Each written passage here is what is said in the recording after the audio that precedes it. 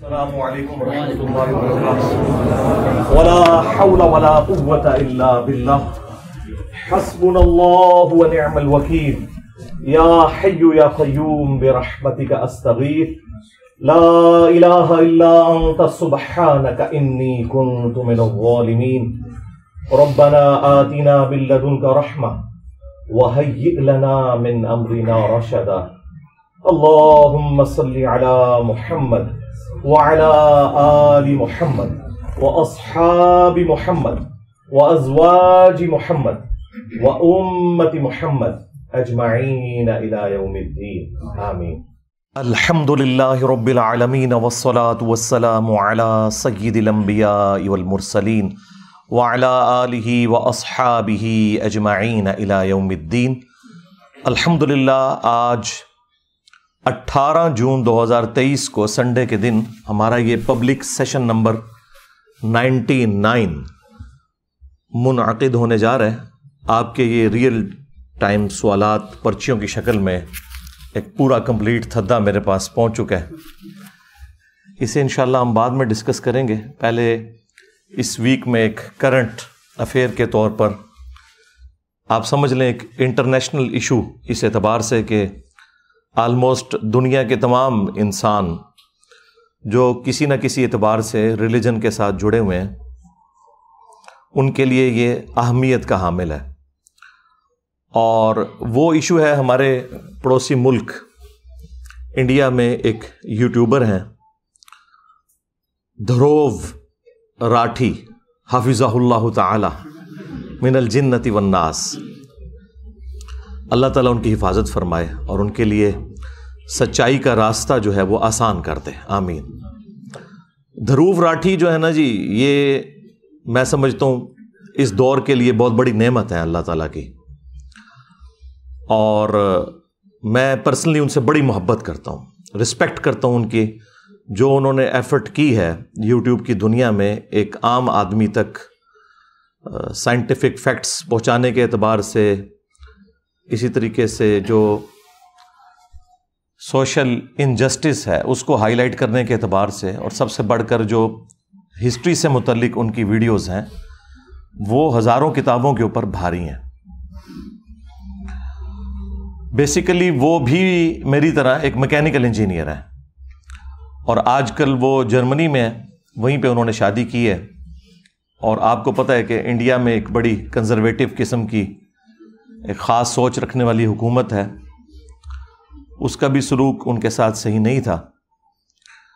तो वो वहीं से अपनी वीडियोस भी अपलोड करते हैं और माशाल्लाह उनके आलमोस्ट 11 मिलियन से ज़्यादा सब्सक्राइबर हो चुके हैं। और जिस मौजू पे भी बोलते हैं, कमाल का बोलते हैं, कोई शक नहीं है। आप उनकी जितनी भी वीडियोस उठा के देखें खा वो बरमूदा ट्राइंगल से मुतलिक हो, टाइटैनिक डूब गया, इससे मुतलिक हो, फ्रेंच रेवोल्यूशन से मुतलिक हो, लैंडिंग ऑन मून इस टॉपिक के ऊपर हो। आलमोस्ट कोई 500 के करीब उनकी वीडियोस अपलोड हो चुकी हुई हैं मुख्तलिफ़ टॉपिक्स के ऊपर। और मेरा ख्याल है कि उर्दू जानने वालों के लिए ये बंदा नेमत है कि उन तक ये तमाम इंफॉर्मेशन उनकी नेटिव लैंग्वेज में पहुँच रही है। और मैं तो बड़े अरसे से उनको देखता हूँ और उनकी वीडियोज़ रिकमेंड करता हूँ, मुख्तलिफ़ मौाक़े के ऊपर। अपने करीबी दोस्तों को भी उनका तारुफ करवाता हूँ। आप भी इस वीडियो के बाद उनके चैनल को ज़रूर विज़िट करें और वीडियोस देखें कि कितनी मेहनत से वो काम करते हैं।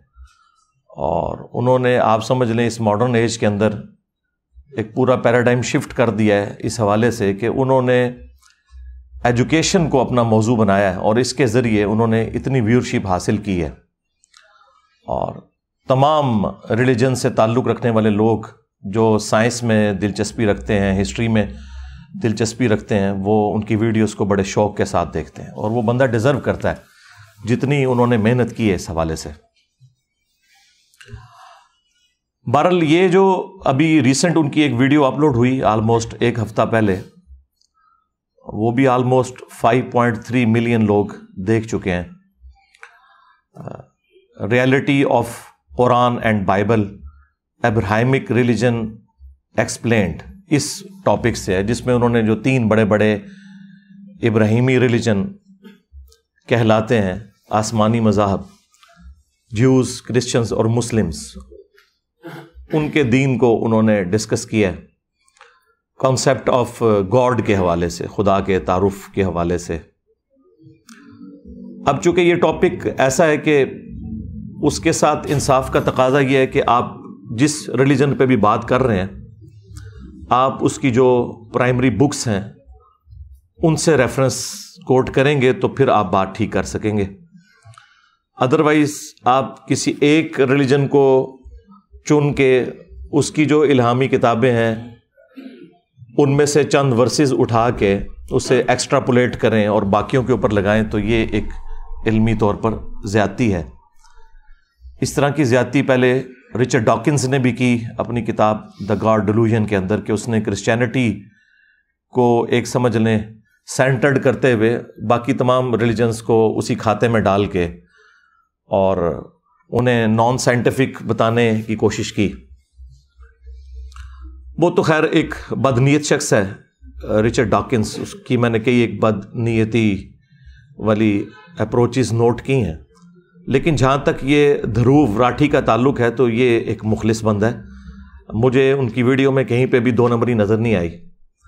और पर्सनली मैंने देखा है कि वो जो सुपरस्टिशियस किस्म की चीज़ें होती हैं, उनके भी ख़िलाफ़ वक्ता फ़क्ता बोलते हैं। अगरचे उनका ताल्लुक इंडिया से है, उसके बावजूद इंडिया में भी जो हिंदुओं के अंदर भी बाबा हजरात मौजूद हैं, उन बाबाओं को वो बड़ा नंगा करते हैं। तो इस हवाले से तो मुझे एक ख़ास अकीदत है उनके साथ कि मिशन एक है बाबों को नंगा करना। जिन्होंने दीन के नाम के ऊपर पब्लिक का इस्तेसाल किया है, उनसे चंदे बटोरे हैं। उनकी दुनिया भी ख़राब की है, उनकी आखरत भी ख़राब की है। दूसरा इस हवाले से भी मुझे एक मोहब्बत है। कि बाई प्रोफेशन वो भी मैकेनिकल इंजीनियर हैं, उसके बावजूद उन्होंने एक रास्ता ये वाला एजुकेशन का अडॉप्ट किया। और आप में से कोई शायद बाज़ात ये सोचता हो कि एक इंजीनियर को अपने शोबे के साथ इंसाफ करते हुए उसी फ़ील्ड के अंदर काम करना चाहिए। तो ये ऐसा नहीं है इंजीनियरिंग आपको एक आपके अंदर इस्तदाद, जिसे आप कहते हैं कॉम्पिटेंसी पैदा करती है कि आपका जो एनालिसिस करने वाली जो सलाहियत है, वो आम लोगों से बढ़कर हो जाती है। इसलिए आप देखेंगे, जितने भी इस किस्म के लोग हैं, हालाँकि मुझे नहीं पता था ये बंदा इंजीनियर है। मैंने जब इसकी वीडियोस देखी ना तो मैंने तारुफ बाद में इसका पढ़ा। मैंने वीडियोस देखते ही ना, अपने दिमाग में सोच लिया कि ये बंदा मुझे लगता है कि ये इंजीनियर है। क्योंकि वो जिस तरीके से चीज़ों को मैनेज करके और प्रॉपर फॉर्म में अरेंज करके एक इंटेलेक्चुअल तरतीब के साथ बयान करता है अलल टप एट रैंडम नहीं बयान करता। उससे लग रहा था कि उसकी एजुकेशन इस हवाले से है और वो नज़र आई। तो हम कभी भी किसी भी शख्स के बारे में ये कमेंट्स नहीं करेंगे कि उसे राइट नहीं पहुँचता कि वो किसी टॉपिक के ऊपर बात करे। ये तो बिल्कुल गैर इल्मी अप्रोच है। हर शख्स का हक है कि वो टॉपिक पे बात करे, लेकिन अथेंटिक सोर्सेज के साथ जो उस रिलीजन की बुक्स हैं, उनको सामने रखते हुए ताकि कोई शख्स बाद में चैलेंज ना कर सके। अब यहाँ पर उनसे थोड़ी सी मिस हैंडलिंग हुई, बदनीयती की वजह से नहीं, बल्कि इग्नोरेंस की वजह से। उन्होंने एज्यूम कर लिया कि चूँकि क्रिश्चियनिटी और जोडाइज़म यानी यहूदियत और इस्लाम, ये तीनों हज़रत इब्राहीम सलाम के साथ जुड़े हुए हैं तो लिहाजा इनके नज़रियात भी आलमोस्ट मिलते जुलते होंगे। मेजॉरिटी केसेस में मिलते भी हैं, लेकिन जहाँ डिफरेंसेस हैं वो एक ही वाक़े के अतबार से बहुत ज़्यादा डिफरेंसेस हैं और उससे ज़मीन आसमान का फ़र्क पड़ जाता है। और वहीं पर उन्होंने गलती खाई। मैं आज कोशिश करूँगा कि पूरी वीडियो के ऊपर अगर मैं कमेंट्स करूँ तो दो से ढाई घंटे चाहिए। लेकिन मैं सिर्फ़ जो इस्लाम के पॉइंट ऑफ़ व्यू से उन्होंने अपना मौक़ दिया है, उसे रिबटल करूँगा। टेन इल्मी पॉइंट्स की शक्ल में इन ताला और उसमें जो चीज़ें उन्होंने दुरुस्त बयान की हैं, मैं उन्हें एंडोर्स करूँगा। और जहाँ पर उनसे बदनीयती की वजह से नहीं इग्नोरेंस की वजह से, या उन्होंने क्रिश्चियनिटी को ही एक एक्स्ट्रापुलेट करके इस्लाम के खाते में डाल दिया तो वहाँ पे मैं इख्तलाफ राय करते हुए, जो इस्लाम की जो प्राइमरी बुक है टेक्स्ट बुक कुरान इन इससे क्रॉस रेफरेंसेस दे के मैं एक एक चीज़ लोगों के सामने इन ताला क्लियर करूँगा। तफसील में जाने से पहले एक दफ़ा दुरुशी पढ़ लें अल्लाह महमद आली महमद व असहाबी महमद व अजवाज महमद व उम्मती महमद अजमाइन अलाउमद्दीन आमीन। इल्मी पॉइंट नंबर वन। वो ये है कि इस्लाम में जो तौरात है या इंजील है और साथ इसके जो सहाइफ और जुड़े हैं, जिन्हें ओल्ड टेस्टमेंट और न्यू टेस्टमेंट के नाम से भी याद किया जाता है। तौरात प्लस बाकी सहाइफ को मिला के ओल्ड टेस्टमेंट कहते हैं और इंजील को न्यू टेस्टमेंट हम इन किताबों को भी अल्लाह ताला की तरफ़ से डिवाइन मानते हैं। लेकिन इन दोनों किताबों के बाद अल्लाह ताला ने फाइनल टेस्टमेंट, ये कुरान नाजिल किया। और ये अल्लाह ताला की वो इल्हामी किताब है कि जिसकी हिफाजत की ज़िम्मेदारी अल्लाह ताला ने ख़ुद कुरान में ली हुई है। बाकी किताबों की हिफाजत की ज़िम्मेदारी नहीं थी। इसी वजह से आप देखते हैं कि वो टेम्पर्ड फॉर्म में तहरीफ हो चुकी है उनके अंदर। इसीलिए आपको बहुत सी बातें नॉन साइंटिफिक नज़र आएँगी। और ये कैसे हो सकता है कि क्रिएटर ऑफ़ द यूनिवर्स कोई कलाम नाजिल करे? अपनी क्रिएशन से मुतालिक फ़िज़िकल फिनमिन ऑफ़ नेचर से मुतालिक, और उसमें इस तरह के साइंटिफिक एरर पाए जाते हों। और साइंस से मुराद इस्टेब्लिश साइंस मैं हाइपोथेसिस या थ्योरीज की बात नहीं कर रहा। ये हो नहीं सकता कि इस तरह का कोई एरर पाया जाता हो। एरर का मतलब ये है कि उसके अंदर तहरीफ हुई है। और ये मुसलमानों का एक बुनियादी अकीदा है कि ओल्ड टेस्टमेंट और न्यू टेस्टमेंट दोनों के अंदर तहरीफ हो चुकी हुई है और सिर्फ़ ये फाइनल टेस्टमेंट यानी कुरान, ये महफूज है। और इसका ज़िक्र भी अल्लाह ताला ने ख़ुद कुरान के अंदर फरमा दिया। सूरतुल हिज्र, आयत नंबर नाइन के अंदर। आऊदबिल्लिमिनशैतरजीम बिस्मिल्लाहिर्रहमानिर्रहीम इन्ना बेशक इस अजिक्र या दिहानी दी रिमेम्बरेंस अल्लाह की याद दिलाने वाली किताब को हमने नाजिल किया और हम इसकी हिफाजत करने वाले हैं और इस किताब की हिफाजत की ज़िम्मेदारी अल्लाह ताला ने इसलिए ली कि अगली किताबें जब टेम्पर होती थी तो पैगंबरों का सिलसिला मुसलसल जारी था और वो पैगंबर आकर इंसानियत को बता देते थे कि ये चीज़ें इंसानों ने खुद से दाखिल की हैं और अल्लाह ताला ने इतना हिस्सा इसका नाजिल फरमाया। लेकिन चूँकि इमाम कायनात सैदिलवलिन वल्लाखरीन शफ़ीमज़नबीन और रहमतुल्लामीन सैदना व मौलाना इमाम आज़म मोहम्मद रसूलुल्लाह सल्लल्लाहु अलैहि अल्लाह ताला के आखिरी पैगंबर हैं। तो खुदा न खास्ता अगर उन पर नाजिल की हुई किताब भी टेम्पर हो जाती तो फिर उसकी रेमेडी के लिए तो किसी और पैगंबर ने नहीं आना था। और आप सलाम के बाद आने वाली सारी इंसानियत, वो जन्नती हो जाती, क्योंकि अकाउंटेबल ही ना रहती। जब किताब ही असली हालत में नहीं है तो जो गुमराही उस तक पहुँची है, बस जो मर्ज़ी वो कीदा अडॉप्ट कर लेती। तो इसलिए अल्लाह ताला ने ख़त्म नबूत की बरकत से कुरान को हमेशा के लिए महफूज कर दिया और ये कुरान इस दुनिया पे अल्लाह ताला का खलीफा है, अल्लाह ताला का नुमाइंदा है पैगंबर के बाद, क़्यामत तक के लिए। ये एक टेक्निकल रीज़न है जिसकी वजह से कुरान को अल्लाह ताला ने महफूज किया। अब ये फाइनल टेस्टमेंट कुरान जो है, ये अगली किताबों की तस्दीक भी करने वाली किताब है। और उन किताबों में क्या हक है, क्या बातिल है? उसको भी ये क्लैरिफाई करती है। और उससे बढ़कर ये किताब अगली किताबों के ऊपर निगहबान भी है। और ये जो मैं दावे कर रहा हूँ, इसका ज़िक्र भी कुरान के अंदर अल्लाह ताला ने फरमा दिया है। सूर्य आले इमरान, चैप्टर नंबर थ्री की जो स्टार्ट की आयात हैं, वो इसी से मुतलिक है। आउदबिल्लिमिनशैतरजीम बसमीम अलिफ्लामीम अल्लाहुल्लाहुल्हय्युल्क़य्यूम अलिफ्लाम मीम हरूफ मुक़त्तात हैं अल्लाह ही है कि जिसके सिवा कोई मबूद नहीं और वो ख़ुद से ज़िंदा है, हर चीज़ को थामे हुए है। नज़ला अलैकल किताब अबिल हक़। नबी सलाम, आप पर उसने ये किताब हक के साथ पर्पसफुल बामकसद नाजिल की है।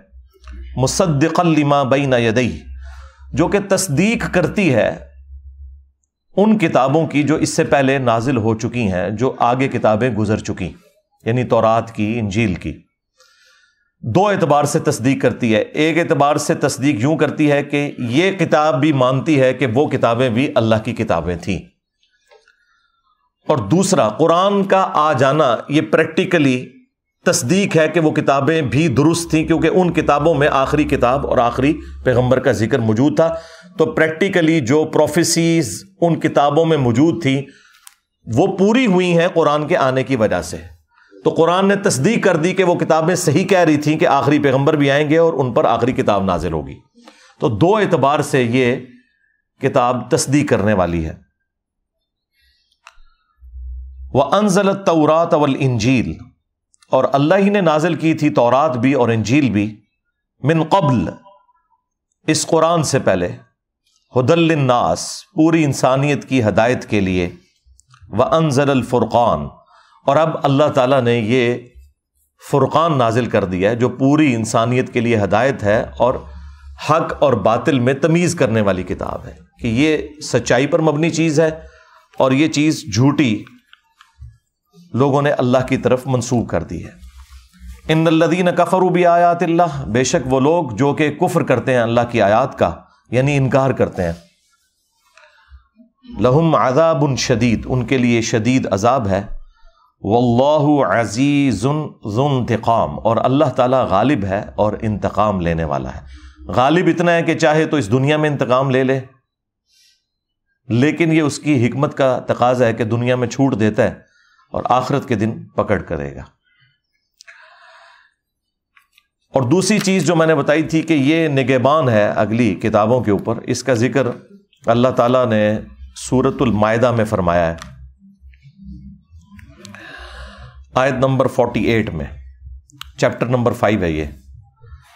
व अनजलना इलकल किताब अबिल हक और हमने नाजिल की है, ए नबी सलाम, आपकी तरफ़ ये किताब पर्पजफुल बामकसद हक के साथ सच्चाई के साथ मुसद्दिकलमा बैना यदई जो कि तस्दीक करती है जो इससे आगे किताबें गुजर चुकी मिनल किताब किताब में से और ये तमाम किताबें असल में लोहे महफूज से हैं कुरान भी वहीं से है बल हुआ कुरान मजीद फ़ी लोह महफूज तो उसी किताब का एक हिस्सा तौरात है उसी किताब का हिस्सा इंजील है, उसी किताब का हिस्सा कुरान है और बाकी अंबिया के सहाइफ हैं। व मुहैमिन अलई और ये किताब निगेबान है उन किताबों के ऊपर। ये है वो लफ्ज, मुहैमिन। कुरान मुहैमिन है, निगेबान है अगली किताबों के ऊपर। कुरान ये इस्टेब्लिश करेगा कि अगली इल्हामी किताबों की कौन सी बातें दुरुस्त हैं और कौन सी बातें गलत हैं। जो लोगों ने उसमें दाखिल कर दी हैं, कुरान को टेम्पर कर दिया है, उसके अंदर तारीफ़ कर दी है।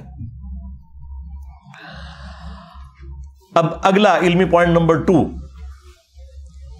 जिसका कुछ हिस्सा मैं पहले डिस्कस कर चुका कि कुरान को अल्लाह ने महफूज क्यों किया, इस वजह से कि अब कोई पैगंबर नहीं आना था। अलबत्ता उसका यह हिस्सा कि अगली किताबें टेम्पर हो गई हैं। इसका ज़िक्र कहाँ कुरान में मौजूद है? वो है सूरतुल बकरा की आयत नंबर 79 में बड़े सख्त अल्फाज के साथ अल्लाह ताला ने इस ट्रुथ को रिवील किया है। फ़वैलदीन यकतबून किताब तो हलाकत है उन लोगों के लिए जो किताब लिखते हैं बी आई दी हिम अपने हाथों से। खुद किताब लिखते हैं। सुम्मा यकूलून हादा मिन इंदिल्ला और फिर ये कहते हैं, ये अल्लाह की तरफ़ से नाजिल हुई है। यानी अल्लाह की किताब में अपने पर्सनल नोट्स दाखिल करके, खुद से उसकी तारीफ़ करके, और ये क्यों करते थे? वो मनपसंद फतवों के लिए, लोगों को खुश करने के लिए। अगर कोई गरीब आदमी आ गया तो उसको पूरे का पूरा दीन सिखा दिया। और अगर कोई अशराफिया में से आ गया और उसकी मर्ज़ी का उसे फतवा देना है तो उसे खुद से तब्दील करके तारीफ़ कर दी। लियशतरू भी समन कलीला, और इसके ज़रिए ये दुनिया की मनफियत, जो कि कलील मनफियत है, दुनिया के चंद टकों, बल्कि आजकल तो कहना चाहिए चंद रुपयों की अब चूँकि टका भी अब दो रुपये का एक टका हो चुका है। तो दुनिया की थोड़ी सी मनफियत की खातिर अल्लाह की आयात को वो बेच देते थे। फवैलुल्लहुम मिम्मा कतबत। तो अल्लाह ताला फरमा रहा है, हलाकत है जो कुछ इन्होंने लिखा दी हिम उनके हाथों ने। वईलुल्लहुम मिम्मा यकसिबून, और हलाकत है उसके लिए भी जो ये कमा रहे हैं। यानी जो इन्होंने हराम कमाया वो भी हलाकत है, और जो इन्होंने आखिरत का अजाब कमा लिया अपने लिए, ये हलाकत है। फिर यही टॉपिक जो है चैप्टर नंबर थ्री के अंदर भी आया सूर्य आल इमरान के अंदर भी। वहाँ पे आयत नंबर है सेवेंटी एट व इन मिन हम लफरी कई अलवून लफरीकून अलसिनतहम बिल किताब। और ए नबी इस्लाम, बेशक इनमें से ऐसे लोग भी हैं जो अपनी ज़ुबान को मरोड़ मरोड़ कर तलावत करते हैं किताब में से। लिता सबू मिनल किताब, ताकि तुम ये समझो कि ये किताब में से पढ़ रहे हैं। आप अक्सर उलमा को नहीं देखते कि वो अरबी अशार को एग्जैक्टली कुरान के लहजे में आइन हा का ख्याल रखते हुए पढ़ रहे होते हैं। और आम आदमी समझ रहा होता है ये कुरान पढ़ रहे हैं। कहानियाँ सुना रहे होते हैं और लोग समझ रहे होते हैं ये कुरान सुन्न से बयान कर रहे हैं। तो यहूद नसारा के उलमा भी यही किया करते थे। वमा हुआ मिनल किताब, हालाँकि वो तो किताब में से होता ही नहीं है। वह यकूलून हुआ मिन इंदिल्ला और ये कहते हैं कि ये अल्लाह की तरफ़ से नाजिल हुआ है जो हम पढ़ रहे हैं। और कैसे जुबानें मरोड़ मरोड़ के एक्टिंग कर करके, ठीक है। वह यकूलून कजिब। और ये अल्लाह ताला के ऊपर झूठ बांधते हैं। वहुम या और ये जानते भी हैं कि ये क्या काम डाल रहे हैं। हाँ। और ये सेम खराबी आज के उलमा में भी मौजूद है। ख्वा वो ज्यूज़ में हो क्रिश्चियंस में हो मुस्लिम्स में हो। कि वो लोगों को बताते हैं, कुरान हदीस में ये लिखा हुआ है इलामी किताबों में ये लिखा हुआ है, लेकिन वो उन किताबों में नहीं होता। झूठ मंसूब करते हैं वो। और एक्टिंग ऐसी करते हैं। बल्कि हमारे तो अब इस मॉडर्न एज के अंदर तो ये वर्जन आगे जा चुका है। पहले तो सिर्फ़ ज़ुबान को मरोड़ते थे ना वो। और बड़ी एक्टिंग करके, हा, आइन की आवाज़ें निकालते थे। अब तो इन्होंने पगड़ियाँ भी और दाढ़ियाँ भी लंबी कर ली हैं। गेटअप भी पूरा ऐसा बनाया हुआ है कि लोग देख के रोब खा जाए। हालाँकि इनके करतूत उस वक्त पता चलते हैं जब इनकी खुफिया वीडियोस लीक होती हैं। हाँ, इन मुफ्तियों की ठीक है? अल्लाह का शुक्र है कि अल्लाह ताला ने दुनिया में इन्हें नंगा किया है ताकि जिन लोगों को थोड़ा बहुत वाम भी था ना मेरे बारे में कि मैं क्यों बोलता हूँ इनके खिलाफ तो वो अब दूर हो गया। अल्हम्दुलिल्लाह। इल्मी point number three Dhruv Rathee भाई ने इस वीडियो के स्टार्ट के अंदर एक बात की थी कि मैं ये इसलिए सब कुछ करने जा रहा हूँ कि कॉमन टर्म्स के ऊपर लोगों को इकट्ठा किया जाए क्योंकि रिलीजन सबसे पोटेंट जज्बा है, जिसकी बुनियाद के ऊपर लोग एक्सप्लाइट करते हैं मामलात को। और ये जितने भी मजहबी किस्म के डोमिनेंट लोग हैं, जो पेशवा बने हुए हैं, वो मिस यूज़ करते हैं इस जज्बे को। लिहाजा हारमोनी पैदा करने के लिए कॉमन टर्म्स के ऊपर लोगों को इकट्ठा किया जाए। तो ये बात उनकी बिल्कुल दुरुस्त है। सेम बात कुरान हकीम में भी अल्लाह ताला ने बयान फरमाई है चैप्टर नंबर थ्री में सूर्य आल इमरान के अंदर। उल या अहल किताब तालो इला कलिमतिन सवा इम व बैनकुम अल्लाह नबुदा इल्लल्लाह। आओ ए अहले किताब ज्यूज़ और क्रिश्चियंस आओ मुसलमानों के साथ, हम सब के सब इस एक बात पर इकट्ठे हो जाते हैं जो तुम में और हम में कॉमन है। और वो ये है कि मत पूजें किसी को सवाए अल्लाह के। और आपस में एक दूसरे को एक दूसरे का रब ना मान लें। यानी पैगंबरों को रब ना मान लें। स्पीशी के एतबार से पैगंबर भी तो इंसान है। हम में से ही है। मर्तबे की बात नहीं हो रही। मर्तबे में कोई उनको नहीं पहुँच सकता। तो इन पैगंबरों के बारे में हम डिविनिटी क्लेम ना करें। हम अल्लाह ताला को अपना रब माने। अगर ये ईमान ले आते हैं तो दुरुस्त। अदरवाइज़ तुम ऐलान फरमा दो कि हम तो सर तस्लीम हम करते हैं, अपने रब के हुजूर, हम उस एक खुदा के मानने वाले हैं और हम गवाही देते हैं कि इस कायनात का मबूद क्रिएटर एक ही है। इल्मी point number four. Dhruv Rathee ने उसमें यह भी बात की कि मैं अपनी पूरी वीडियो के अंदर, जहाँ कहीं भी गॉड का लफ्ज यूज़ करूँ या खुदा का लफ्ज यूज़ करूँ या भगवान का लफ्ज इस्तेमाल करूँ या अल्लाह का लफ्ज इस्तेमाल करूँ तो ये सब के सब अल्फाज एक ही हस्ती की तरफ़ इशारा करेंगे, क्योंकि ये एक ही हस्ती के मुख्तलिफ़ नाम है मुख्तलिफ़ रिलीजन्स के अंदर। बिल्कुल मैं इसको सेकंड करूँगा। हमें भी कोई आर नहीं है। नाम आप कोई भी अच्छा अल्लाह की तरफ़ जो उस रिलीजन में या उस ज़ुबान के अंदर सबसे सुपरलेटिव डिग्री है, वो आप खुदा की तरफ़ मंसूब कर सकते हैं। इवन इंग्लिश में भी जो छोटे आलिया हैं, उन्हें छोटे जी से लिखा जाता है। जो कैपिटल जी से लिखा जाता है ना, गॉड, वो भगवान को, खुदा को, अल्लाह को कहते हैं। आप उसे सुप्रीम बींग भी कह सकते हैं सुपर नेचुरल एजेंसी का लफ्ज भी उसके लिए इस्तेमाल कर सकते हैं, जो चाहे आप अल्फाज उसके लिए इस्तेमाल कर सकते हैं, लेकिन असल में उसकी तरफ़ जो क्वालिटीज आपने मंसूब की हुई है ना, ये देखने वाली चीज़ है कि वो क्वालिटीज उससे मुतालिक हैं भी हैं या नहीं। अलबत्ता नाम इस्तेमाल करने में कोई आर नहीं है तो ये बात उनकी बिल्कुल दुरुस्त है और हम इसे सेकंड करते हैं। इल्मी पॉइंट नंबर फाइव ये बात भी उन्होंने सही बयान की कि तमाम रिलीजन्स के अंदर जिहाद और कताल, यानी लड़ाई करना, जंग करना, हक को इस्टेब्लिश करने के लिए, झूठ को मिटाने के लिए, इंसानियत को इस्तेसाली निज़ाम से बाहर निकालने के लिए दहशत गर्दी को ख़त्म करने के लिए, इंसाफ का निज़ाम कायम करने के लिए, ये जितने भी अल्फाज इस्तेमाल किए जाते हैं। इसके लिए जंग करना, ये बिल्कुल दुरुस्त है। और इस जंग से मुराद कतन ये नहीं होता कि आपने दूसरे रिलीजन के मानने वाले लोगों को दुनिया से ख़त्म कर देना है और उनके पास कोई दुनिया में रहने का हक मौजूद नहीं है। और इसमें अक्सर हिंदुओं की जानब से और क्रिश्चियंस की जानब से कुरान हकीम की एक आयत आउट ऑफ़ कॉन्टेक्स्ट पेश की जाती है। सूर्य अतौबा की आयत नंबर फाइव वो उन्होंने कोट की अपनी उस वीडियो के अंदर कि आउट ऑफ़ कॉन्टेक्स्ट है कि जहाँ कहीं मुशरक पाओ उसे कत्ल कर दो। तो उन्होंने भी बताया कि ये एक ट्रीटी से रिलेटेड था उस जमाने के लिए। वो एक मुआदा था मुसलमानों और काफरों के दरमियान जो काफिरों ने तोड़ दिया और मुसलमानों को कत्ल किया।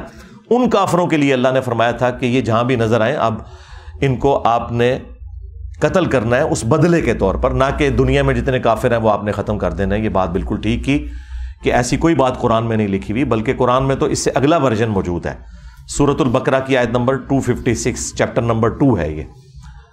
ला इकरा हाफिद्दीन कद तबैन रुश्द मिनल गई। दीन कबूल करने के बारे में कोई जबर नहीं है। अल्लाह ताला ने हदायत को गुमराही से अलग करके बयान कर दिया यानी यह ज़बरदस्ती नहीं है कि आपने ये रिलीजन कबूल करना है, बल्कि अल्लाह ताला ने हक और बातिल को वाजे कर दिया जिसकी मर्ज़ी हक का रास्ता इख्तियार करे, जिसकी मर्ज़ी बातिल का रास्ता। और दुनिया में अल्लाह ताला उसे रहने के लिए इसबाब भी प्रोवाइड करेगा, अलबत्ता। आखिरत फिर सिर्फ़ उन लोगों के लिए होगी जो अल्लाह के ताबे फरमान होंगे। तमाम अंबिया की दावत का मुकदमा इसी के ऊपर कायम है। इन्ना हदईना सबील इम्मा शाकिर व इम्मा कफूरा, हमने हदायत का रास्ता वाज कर दिया चाहे तो शुक्र गुजारी की रविश इख्तियार करो खा ना शुक्री की रविश इख्तियार करो। दीन कबूल करने के अतबार से किसी के ऊपर जबर नहीं है।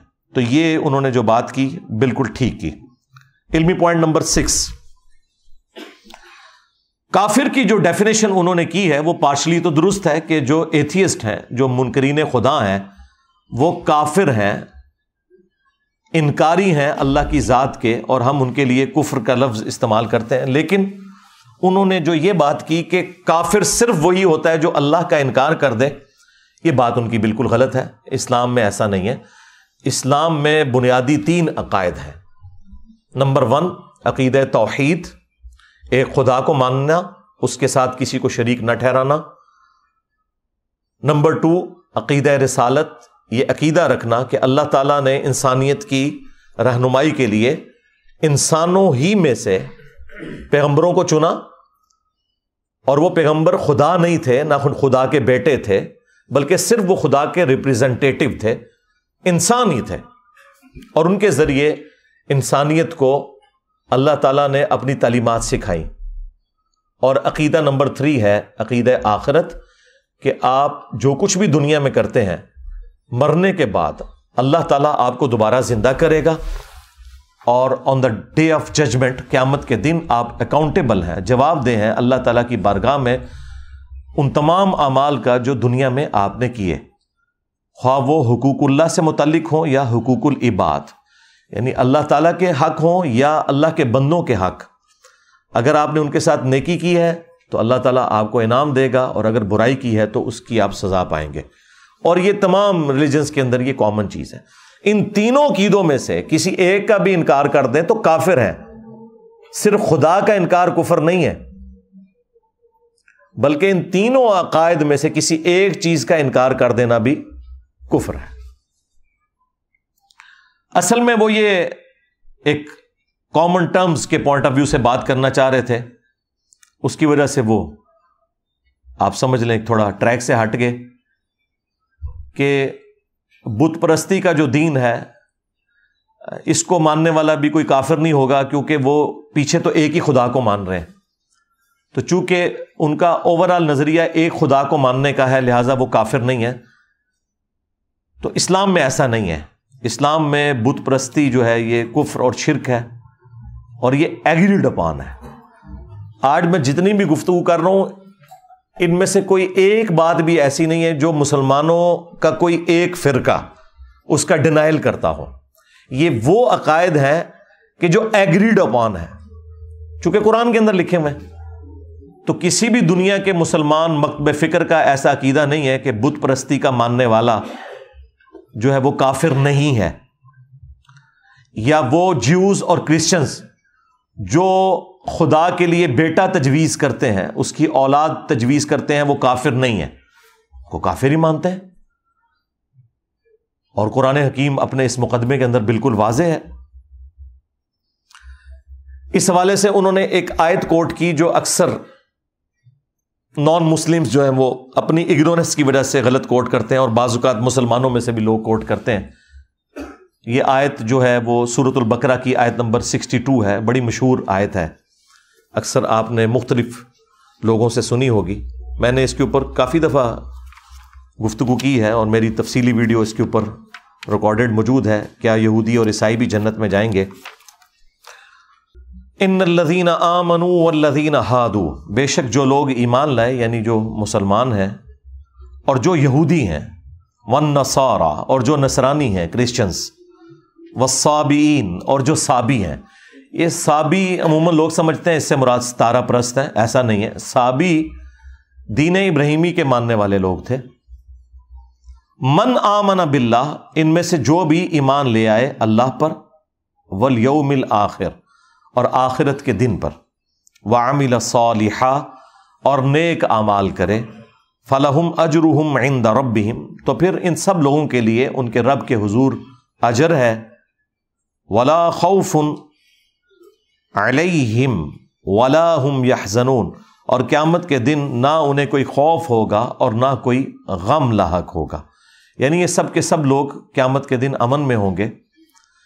इस आयत को बाज लोग आउट ऑफ़ कॉन्टेक्स्ट कोट करते हैं और वो कहते हैं कि देखें, इसमें तो अल्लाह ताला ने वाजे कह दिया कि ख्वाह मुसलमान हो, यहूदी हो, क्रिश्चियंस हो, साबी हो, अल्लाह पर और आखिरत पर ईमान ले आए। तो क़्यामत के दिन वो कामयाब हो जाएँगे अपने नेक अमाल के सबब। इसमें ईमान बिर रिसालत का ज़िक्र नहीं है। और वो इससे ये रिज़ल्ट निकालने की कोशिश करते हैं कि ईमान बिर रिसालत कोई ज़रूरी चीज़ नहीं, अल्लाह को और आखिरत को मान लें तो आप कामयाब हो जाएँगे। और इसी वजह से आपको पता है कि अकबर बादशाह मुग़लों का, अब मेरा ख़ुद भी ताल्लुक़ मुग़ल ख़ानदान से है। उसके बावजूद मैं समझता हूँ कि सब कॉन्टीनेंट में जो दीन के अतबार से गुमराही का दरवाज़ा जिस शख्स ने खोला, वो जलालुद्दीन अकबर था। तो उसने जो एक कॉमन रिलीजन का कॉन्सेप्ट दिया, वो इसी बुनियाद के ऊपर दिया कि ये सारी की सारी तफरीक अम्बिया के नामों के ऊपर है, लिहाजा अम्बिया को बीच में से निकाल दिया जाए नाउजुबिल्ला तो फिर पूरी दुनिया हैप्पी हैप्पी रहेगी, क्योंकि ये सारी तफरीक आती ही पैगम्बरों के नाम के ऊपर है। मुसलमान जो है, मोहम्मद रसुल्ला को मानते हैं और यहूदी जो है वो मूसा अलैहिस्सलाम को मानते हैं, क्रिश्चियन जो है वो ईसा अलैहिस्सलाम को मानते हैं। तो इसकी वजह से फिर तफरीक आ जाती है। अगर खुदा और आखिरत का कॉन्सेप्ट रखा जाए तो वो तो हिंदुओं में मौजूद है। और अच्छे अमाल किए जाएँ, वो तमाम रिलीजन कहते हैं तो ये सारे मामला हल हो जाएँगे। और ये आयत कोट करते हैं। हालाँकि ये आयत खुद बोल के कह रही है कि आप इस आयत को बिल्कुल आउट ऑफ़ कॉन्टेक्स्ट पेश कर रहे हैं। क्योंकि जब इसमें आ गया कि बेशक वो लोग जो ईमान लाए और जो यहूदी हैं और जो नसरानी हैं, मुझे बताएँ यहूदी कौन होता है? जो किसी पैगंबर का मानने वाला होता है या पैगंबर का नहीं मानने वाला होता? पैगंबर का मानने वाला होता है। नसरानी कौन होता है? जो जीसस क्राइस्ट को मानने वाला है। तो इसके अंदर इंप्लाइड है कि अल्लाह ताला अंबिया का ज़िक्र कर रहा है। जो ईमान लाए मोहम्मद रसुल्ला पर सल्लल्लाहु अलैहि वसल्लम, या मूसा सलाम और इसराइली पैगंबरों के ऊपर, या ईसा सलाम के ऊपर या साबी जो दीन इब्राहिमी की एक बिगड़ी हुई शक्ल थी, इब्राहिम सलाम के ऊपर। तो अंबिया का तो ज़िक्र इंप्लाइड है इसके अंदर। यहूदी होते ही वो है जो पैगंबरों को माने, क्रिश्चियन होते ही वो है जो जीसस क्राइस्ट को माने। लिहाजा ईमान बिरसालत तो इसमें मौजूद है। या आउट ऑफ़ कॉन्टेक्स्ट आप कोट नहीं कर सकते। दूसरी बात, ये तमाम अदियान के मानने वाले लोग या रिलीजन के मानने वाले लोग अपने अपने जमानों में मुसलमान ही थे। ज्यूज ने जब तक जीसस क्राइस्ट का इनकार नहीं किया तो वो मुसलमान थे। उन तमाम अंबिया को हम मानते हैं, उनके असहाब को हम मानते हैं। लेकिन वंश जब जीसस क्राइस्ट ईसा ने मरियम का उन्होंने इनकार किया तो वो काफिर हो गए।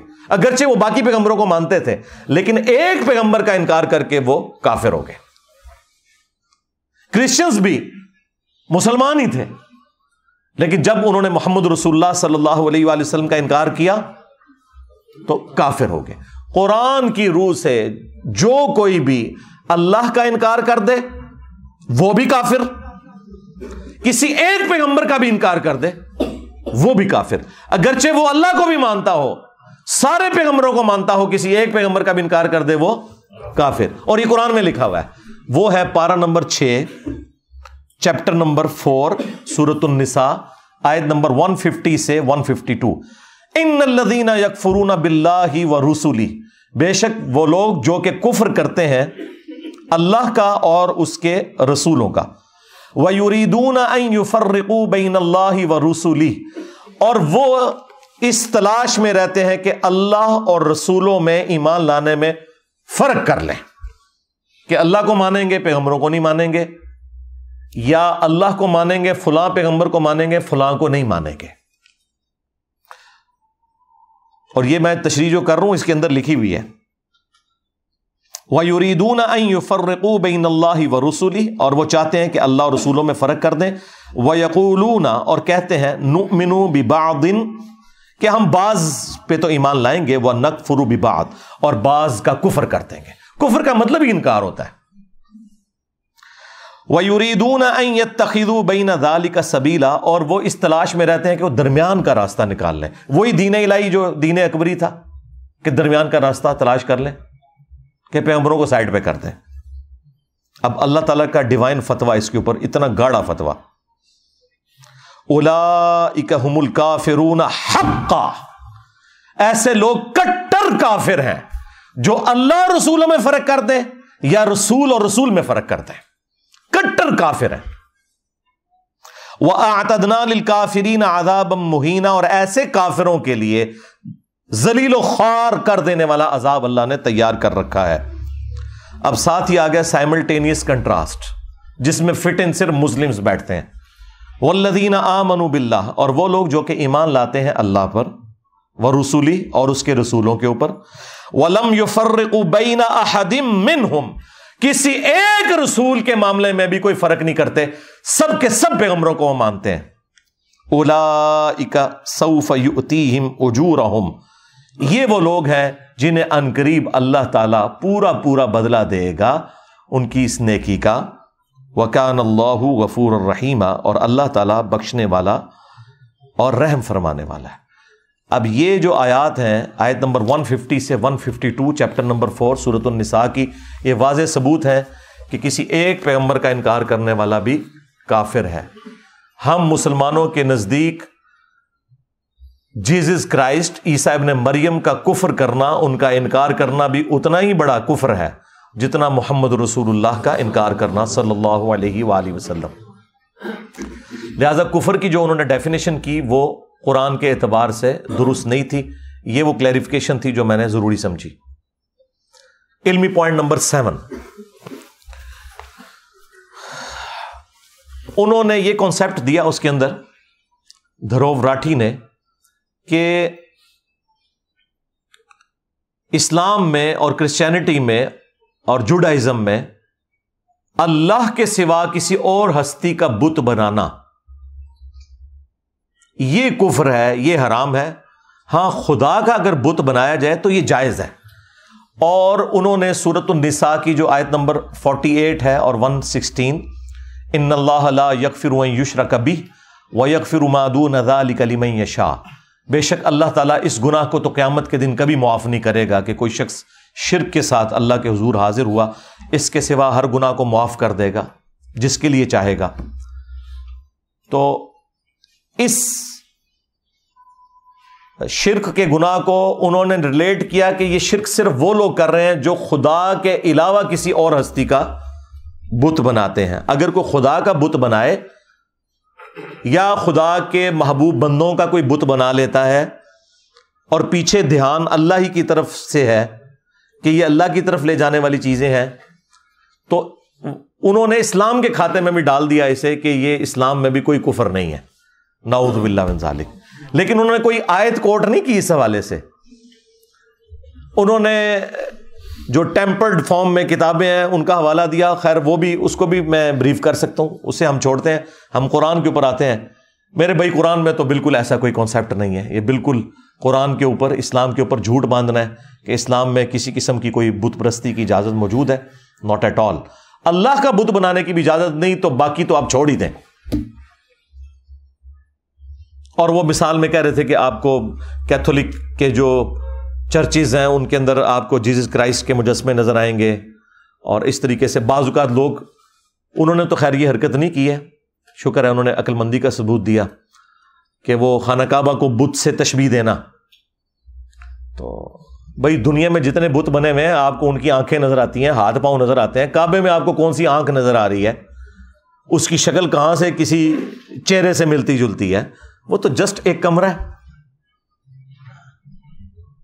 अगर ये बुत होता मुसलमानों का तो मुसलमान जूतियों समेत इसके ऊपर चढ़ते। साल में दो दफ़ा गलाफ काबा चेंज होता है और दोनों दफ़ा सऊदी हुकूमत के जो कारिंदे हैं, इतने बड़े बड़े बूट पहने हुए उसके ऊपर चढ़ते हैं।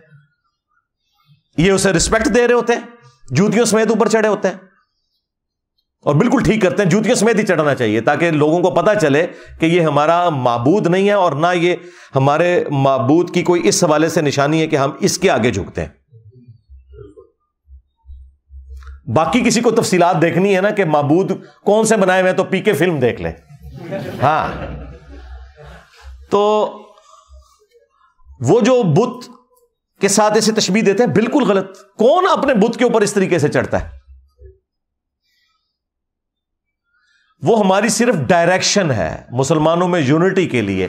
दो यूनिटी के सिंबल हैं मुसलमानों के, एक अरेबिक लैंग्वेज कि हमारी जितनी भी इबादत है वो अरबिक के अंदर है, ताकि कोई चाइना का मुसलमान हो, या रशिया का मुसलमान हो, या कोई अमेरिकन मुस्लिम हो, या सब कॉन्टिनेंट का मुसलमान हो, जब वो जाके काबे में खड़ा हो या दुनिया में कहीं भी खड़ा हो।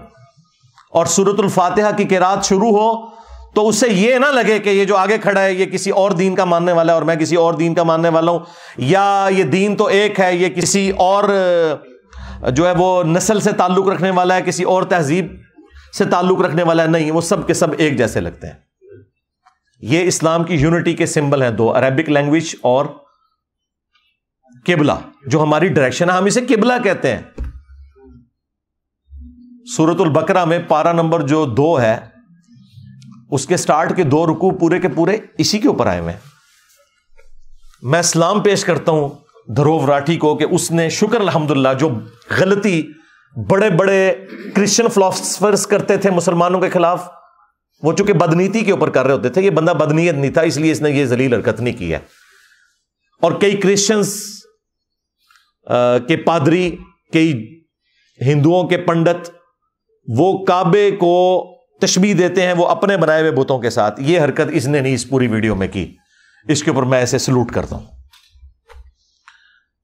ये इंतहाई जलील हरकत है, झूठ बांधना है मुसलमानों के ऊपर। मुसलमान किसी किस्म की भी बुत परस्ती को जायज़ नहीं समझते। अब रह गया जो मुसलमान जाके कब्रों के आगे झुकते हैं तो उनकी भी अगर आप ओरिजिनल तालीमात पढ़ें तो उनके अंदर भी ऐसी कोई बात मौजूद नहीं। ये सिर्फ़ जहालत के ऊपर मबनी है, कोई भी इसकी इजाज़त नहीं देता कि आप किसी मरे हुए बंदे की कब्र पे जाके तो उसे सजदा करना शुरू कर दें या उसके सामने हद रुकू झुकना शुरू कर दें, ये बिल्कुल इस्लाम के अंदर हराम है। और अगर इबादत की नीयत से हुआ तो ये कुफर शिरक है, सीधी सी बात है। तो बुत का कोई कॉन्सेप्ट इस्लाम के अंदर मौजूद नहीं है। खुदा का भी बुत नहीं बनाया जा सकता, कोई स्टैचू नहीं बनाया जा सकता। लिहाजा वो जो उस वीडियो में कह रहे थे कि जिस तरह आप अपने बाप की तस्वीर रखते हैं ना आप उस तस्वीर के पीछे जो हस्ती है, उससे अपनी अकीदत का इजहार कर रहे होते हैं। उस तस्वीर से आपका लेना देना कोई नहीं होता। इस तरीके से उन्होंने कहा कि ये जो हम भगवान का बुत बनाते हैं, या मुख्तलिफ़ स्टैचू दुनिया में एग्जिस्ट करते हैं तो इन स्टैचूज का मकसद भगवान की याद ताज़ा करना होता है, ना कि इन स्टैचूज को हम भगवान समझते हैं। मेरे भाई, आप स्टैचूज बना ही नहीं सकते। डॉक्टर जाकिर नाइक ने तो पूरी एक वीडियो तफसीली रिकॉर्ड करवाई। Similarities between Hinduism and Islam उसमें उन्होंने हिंदुओं की किताबों से भी साबित किया है कि वहाँ भी खुदा का कोई स्टैचू बनाना, कोई तस्वीर बनाना, कोई बुत बनाना, कोई इस तरह का सिंबल बनाना हराम है। और कुरान हकीम में तो अल्लाह ताला ने एक आयत में वाज कर दिया लई सकमिथली शई वह समी बसीर। अल्लाह की मिसल कोई शय है ही नहीं है। और वही सुनने वाला और देखने वाला है। जब अल्लाह ताला की कोई मिसाल बयान ही नहीं हो सकती तो उसका स्टैचू नहीं बनाया जा सकता, वरना तो हमारे पैगंबर खुद बनाते हमारे पैगंबर ने तो जब फतेह मक्का हुई तो हज़रत इब्राहिम इस्लाम की तस्वीरें भी बनी हुई थी। काबे की दीवार के ऊपर बाज मुसलमान रिलेक्टेंट हुए कि हम इन तस्वीरों को कैसे मिटाएँ। तो नबी इस्लाम ने अपने मुबारक हाथों से मिटाई वो, अपने जद अमजद की तस्वीर। यही वजह है कि हमारे प्रॉफिट की कोई तस्वीर दुनिया में नहीं है। हालाँकि तस्वीरें उस वक्त भी बनाई जाती थी, लेकिन किसी ने ज़रूरत नहीं की कि एक तस्वीर ही बना के रख लें। नहीं, क्योंकि बुत परस्ती इसी से दाखिल होती है। सूर्य नूह के अंदर जो चार बुतों का ज़िक्र आया है ना, जो कौम नूह पूजा करती थी, और जब कौम नूह उन बुतों को पूज रही है तो इसका मतलब है कि हज़रत नूह इस्लाम से पहले से ये बुत परस्ती का सिलसिला शुरू हुआ है। और उसकी तफसील कुरान में तो नहीं आई है, सिर्फ़ बुतों के नाम आए हैं। लेकिन सही बुखारी के अंदर उसकी तफसील मौजूद है कि बेसिकली ये हज़रत नू सलाम से पहले उनकी कौम के अंदर अल्लाह के नेक बंदे हुआ करते थे। ज़ाहिर है कि पहले इंसान और पहले प्रॉफिट हज़रत आदम सलाम है। ये भी उसमें उन्होंने कहा कि जी हज़रत आदम इस्लाम को मुसलमान पैगंबर मानते हैं जूस और क्रिश्चियंस जो हैं वो हज़रत इब्राहीम इस्लाम से स्टार्ट लेते हैं या नू सलाम से स्टार्ट लेते हैं। तो ये कॉन्सेंसिस हज़रत आदम इस्लाम ही पहले इंसान है और वो पहले पैगंबर भी हैं।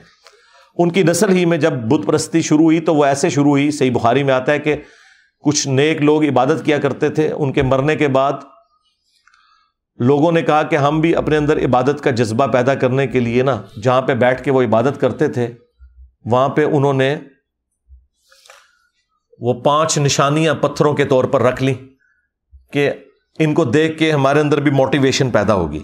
फिर आहिस्ता आहिस्ता वो बुत की शक्ल इख्तियार कर गए और लोगों ने उन्हीं को पूजना शुरू कर दिया और वही कॉन्सेप्ट के पीछे तो खुदा आई है। तो इस तरीके से बुत प्रस्ती स्टार्ट हुई। आज भी आपको जो लोग जाहिल लोग हैं, वो कहते हैं, हम मज़ारात के ऊपर इसलिए जाते हैं कि ताकि हम वहाँ जाके उन नेक बंदों को याद करें कि इन्होंने कैसे अल्लाह को खुश किया था। तो फिर उससे हमें मोटिवेशन मिलेगी। जी, आपके बड़े भी यही कुछ करते थे। उन्होंने भी ऐसे ही स्टार्ट लिया था कि यहाँ अल्लाह के नेक बंदे, यहाँ पे भी आप देख रहे अच्छे उन्होंने चिल्ला कटे है जी। आ सेम चीज़ बुखारी के अंदर मौजूद है। उन पाँच बुतों का सिलसिला फिर शुरू हुआ और कुरान हकीम इस हवाले से इतना सेंसिटिव है बुत प्रस्ती के हवाले से कि अल्लाह ताला ने सूरतुल हज की आयत नंबर तीस में चैप्टर नंबर ये ट्वेंटी टू है फरमाया कि बुतों की गंदगी से बचो। इससे गंद कहा है? नजस, गिलाजत कहा है बुतों की? फिर अल्लाह ताला ने सूर्य अजुमर की आयत नंबर थ्री में कहा कि ये लोग इन बुतों की इबादत इसलिए करते हैं कि ये कहते हैं कि ये हमें अल्लाह के नज़दीक कर देंगे, पीछे अल्लाह ही है। तो अल्लाह ताला ने इसे भी कंडेम किया कि यह बिल्कुल सराहतन कुफर है। और सूर्य यूनुस में तो अल्लाह ताला ने कहा कि तुम वो बात कर रहे हो जो अल्लाह के भी इल्म में नहीं है, ज़मीन व आसमान में, कि अल्लाह ने कोई अपना नायब मुकर किया इस हवाले से कि उसके ज़रिए तुम अल्लाह तक पहुंचोगे। और फिर सूरतुल अराफ में तो अल्लाह ताला ने जितनी तफसील के साथ इसको ज़िक्र किया, अल्लाह ने कहा कि ये जो तुमने बुत बनाए हुए हैं, ये तो तुम्हारी तरह अल्लाह की मखलूक है। और फिर अल्लाह ताला ने उसको मजीद समझाया। कि क्या इनके पाँव हैं जिससे ये चलते हैं? क्या इनके हाथ हैं जिनसे ये पकड़ते हैं? हाथ तो हैं, लेकिन पकड़ते तो कोई नहीं ना। बाकी तफसीलात के लिए पीके फ़िल्म देख लें। क्या इनकी आँखें हैं जिससे ये देखते हैं? क्या इनके कान हैं जिससे ये सुनते हैं? अल्लाह ने एक एक उज्व का ज़िक्र किया और इंसानियत को आर दिलाई इस हवाले से। वो इंसानियत जो शिरक में डूबी हुई है कि तुम इनसे बेहतर हो, कि तुम चल फिर सकते हो, पकड़ सकते हो, सुन सकते हो। लेकिन ये वो भूत हैं जिनके अंदर ये कुछ भी नहीं है। और फिर जो इसको अपने एपेक्स के ऊपर पहुँचाया, वो हमारे अब्बा जी ने पहुँचाया, हज़रत इब्राहिम सलाम ने। वो इंशाल्लाह मैं बाद में अगले पॉइंट्स के अंदर उनका ज़िक्र करूँगा, क्योंकि इस वीडियो में उन्होंने उनका ज़िक्र भी किया। तो इस्लाम में किसी किस्म की कोई कबर परस्ती बुत परस्ती किसी भी हवाले से नहीं है। अच्छा यहाँ पर जिमन मैं वो भी कवर कर दूँ, जो उन्होंने ताबूत सकीना का ज़िक्र किया और इंजील से उन्होंने वर्सेस को कोट किया कि वो ताबूत सकीना भी अल्लाह ताला की तरफ़ ध्यान लाने के लिए एक चीज़ थी और वो उसको उन्होंने रिलेट किया बुत प्रस्ती के साथ। हालाँकि ऐसा कोई कॉन्सेप्ट ना इंजील के अंदर इस तरीके से मौजूद है। और कुरान के अंदर तो अल्लाह ताला ने ताबूत स्कीना का ज़िक्र चैप्टर नंबर टू में सूरतुल बकरा के अंदर किया है। टू फोर्टी एट नंबर आयत के अंदर। वो तो जस्ट एक बॉक्स था जिसके अंदर हज़रत मूसा की कुछ निशानियाँ थी। उनका आसा था, उनके कपड़े थे, इस तरह की चीज़ें। जो बनी इसराइल का यकीदा था कि इसकी बरकत से अल्लाह ताला हम पर रहम फरमाता है। बनी इसराइल कोई तबूत सकीना के सामने झुकते नहीं थे, उसकी इबादत नहीं करते थे, वो बरकत के तौर पर अपने साथ रखा करते थे। जिस तरह खाना काबा की दीवार में भी एक पत्थर नसब है, जिसे हम हजर असवद कहते हैं, और उसे चूमा जाता है, और बुखारी और मुस्लिम दोनों में हदीस मौजूद है कि हज़रत उम्र फ़ारूक रदी अल्लाह हो जब उसे चूमने लगे तो उन्होंने साथ एक जुमला बोला कि तू एक पत्थर ही तो है हजर असवद, ना किसी को नफ़ा दे सकता है ना नुकसान। मैं सिर्फ़ इसलिए चूम रहा हूँ कि नबी सल्लल्लाहु अलैहि वसल्लम ने तुझे चूमा था। बस, ये अकीद है। बाद लोगों ने इसके आगे एक वो कहानी जोड़ी है कि मौला अली इस्लाम ने कहा कि ये नफ़ा भी देता है, नुकसान भी देता है। वो रवायत अलमुस्तदरक हाकिम में है और घड़ी भी रवायत है। उसमें अबू हारून कज़ाब झूठा रावी है। लेकिन अगर उसकी भी कोई तावील करता है तो वो इस एतबार से है जो जाम तिरमजी के अंदर मौजूद है कि ये जन्नती याकूत था। और लोगों के गुनाहों की नहुसत की वजह से ये ब्लैक हो गया। और जो लोग भी वहाँ उसे चूमते हैं, क्यामत के दिन अल्लाह के हजूर वो गवाही देगा लोगों की नेकी की। बस। इससे ज़्यादा कोई ज़िक्र मौजूद नहीं है कि वो किसी को नफा नुकसान दे सकता है। तो गवाही क्या सिर्फ़ हजर असमत देगा? इस प्लेनेट अर्थ पे हर वो हिस्सा ज़मीन का, जिस पे आप नमाज़ पढ़ते हैं, अल्लाह की याद करते हैं, या आपने किसी इंसान के साथ नेकी की हुई है वो हर चीज़ क्यामत के दिन आपके अमाल की गवाही देगी। ये कोई हजर असवद की खसूसियत नहीं है सिर्फ़। लिहाजा इस तरह के पत्थरों के कॉन्सेप्ट निकालना और ये इस तरीके के नगीने भी पहनना, ये हकीक है और ये फलां कर देता है। भाई, जो जन्नत का याकूत है हजर असवद, वो किसी को नफा नुकसान नहीं दे सकता तो दुनिया के तो पत्थर शाही कोई नहीं। हाँ। अगर अल्लाह का जन्नत से भेजा हुआ पत्थर उल्टा उसने क्या नफा नुकसान देना था? उसने अपने ऊपर असर ले लिया कि इंसानियत के गुनाहों की वजह से हो गया। जब उतरा था तो वो सफ़ेद था। तो अड़ी ने उससे पै गई होते थे। हाँ। तो ये बिल्कुल कॉन्सेप्ट इस्लाम के अंदर इस तरह का कोई नहीं। ताबूत सकीना आप खुद पढ़ के देख लें, इससे ज़्यादा कोई कॉन्सेप्ट नहीं था। और चूँकि बनी इसराइल के साथ रिलेटेड है, मूसा इस्लाम की यादें थी ताबूत सकीना में तो मूसा इस्लाम का ज़िक्र अल्लाह ताला ने सूरत अराफ की आयत नंबर 138 में कर दिया। आपने स्पेसिफिकली मूसा इस्लाम और ताबूत सकीना का ज़िक्र किया तो कुरान में तो पूरी तफसील आई है कि मूसा इस्लाम जब अपनी कौम को लेकर निकले और शाम की सरजमीन की तरफ़ सफ़र इख्तियार किया, रास्ते में उन्होंने जब समुद्री झील को अबूर किया, उस जमाने में वो छोटी छोटी समुद्री झीलें थी, फिर बाद में उन्हीं को जोड़ के तो नर्सरीज अब बना दी गई है। दुनिया की तीस फ़ीसद तजारत उसी नहर के ज़रिए हो रही है। तो झील को जब क्रॉस किया तो सूरतुल अराफ आयत नंबर 138 में आया कि जब उनकी कौम ने एक ऐसी कौम से उनका गुजर हुआ कि जो बुतों के ऊपर ध्यान किए हुए बैठे थे तो उन्होंने कहा, मूसा, आप भी हमारे लिए कोई अल्लाह का बुत मुकर कर दें। कि हम उस पर ध्यान करके बैठे। तो मूसा इस्लाम ने कहा कि मैं इस जाहिल कौम से अल्लाह की पनाह में आता हूँ कि इन लोगों ने अल्लाह का बुत मान लिया। और फिर जब मूसा इस्लाम को अतूर पे गए तो पीछे उन्होंने वो एक बछड़ा बना भी लिया जेवरात को जमा करके। फिर उस बछड़े के साथ जो हज़रत मूसा इस्लाम ने किया, उसके टुकड़े टुकड़े करवाए और उसको पानी में बहा दिया। ये सारे का सारा ज़िक्र कुरान हकीम के अंदर मौजूद है। लिहाजा मूसा इस्लाम ने अगर कोई कॉन्सेप्ट दिया था बुत परस्ती का तो ये बिल्कुल उन पर झूठ है। उन्होंने तो अल्लाह का बुत नहीं बनाने दिया। तो तबूत स्कीना कैसे बुत बना सकते थे वो? ये बिल्कुल झूठा इल्ज़ाम है। और इसी कॉन्टेक्स्ट में एक हदीस जामिया तिरमजी में मौजूद है कि हमारे महबूब सलाम के चंद असहाब आपके साथ थे, गजवा हुनैन के मौका पर एक दरख्त के पास से गुजरे, जिसे ज़ात अनवाद कहा जाता था, जहाँ मुशरकिन अरब अपना असला लटकाते थे और उनका यह कीदा था कि जो यहाँ पे असला टच करता है, उसे जंग में फतह होती है। फतह फिर भी कोई नहीं हुई। हुनैन वो हार ही गए मुसलमानों से। तो चंद असाब ने कहा यारसोल्ला आप भी हमारे लिए कोई दरख्त मुकर कर दें, जिससे हम बरकत हासिल करें। उन्होंने कोई अल्लाह का बुत नहीं मांगा था। उन्होंने बरकत के लिए एक चीज़ मांगी। तो नबी इस्लाम ने फरमाया सुबहान अल्लाह अल्लाह पाक है। तुमने तो मुझसे वही डिमांड कर दी जो मूसा के साहब ने की थी। फिर नबी इस्लाम ने सूरतुल अराफ की आयत नंबर 138 जो मैंने बयान की तलावत की। और फिर आपने फरमाया, उस जात की कसम जिसके कब्जे कुदरत में मेरी जान है, तुम भी अगले लोगों के तरीके पे चल पड़ोगे। और फिर अगली पूरी हदीस बुखारी मुस्लिम में भी मौजूद है। कदम ब कदम बालिश्त बर बालिश्त हती के अगले लोगों में से कोई गोह के सुराख में दाखिल हुआ तो तुम भी यही काम करोगे। साहब कराम ने पूछा कि अगले लोगों से मुराद क्या ज्यूज और क्रिश्चियंस हैं? आपने फरमाया, अगर वो मुराद नहीं तो और कौन से लोग मुराद हैं? और हमारे प्रॉफिट ने हमें पहले ही बता दिया कि मेरी उम्मत में भी ये खराबियाँ आएँगी, लेकिन उनका ताल्लुक ना मुझसे है, ना किसी पैगंबर के साथ है।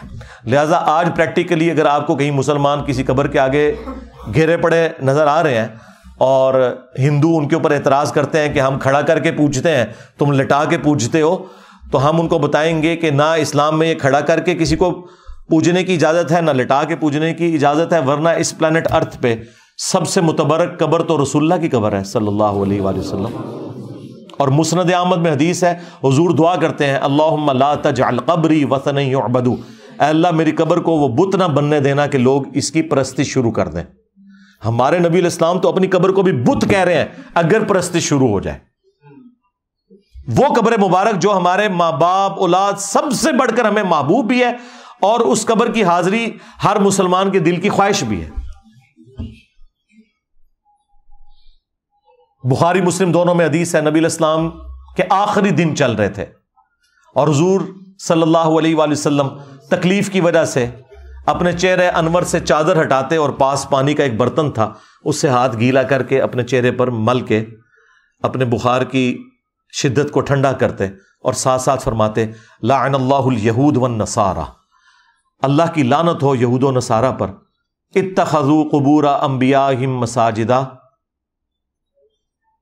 उन्होंने अपने अम्बिया की कब्रों को सजदागाह बना लिया था। और हमारी माँ सईदा आयशा सलाम के अल्फाज हैं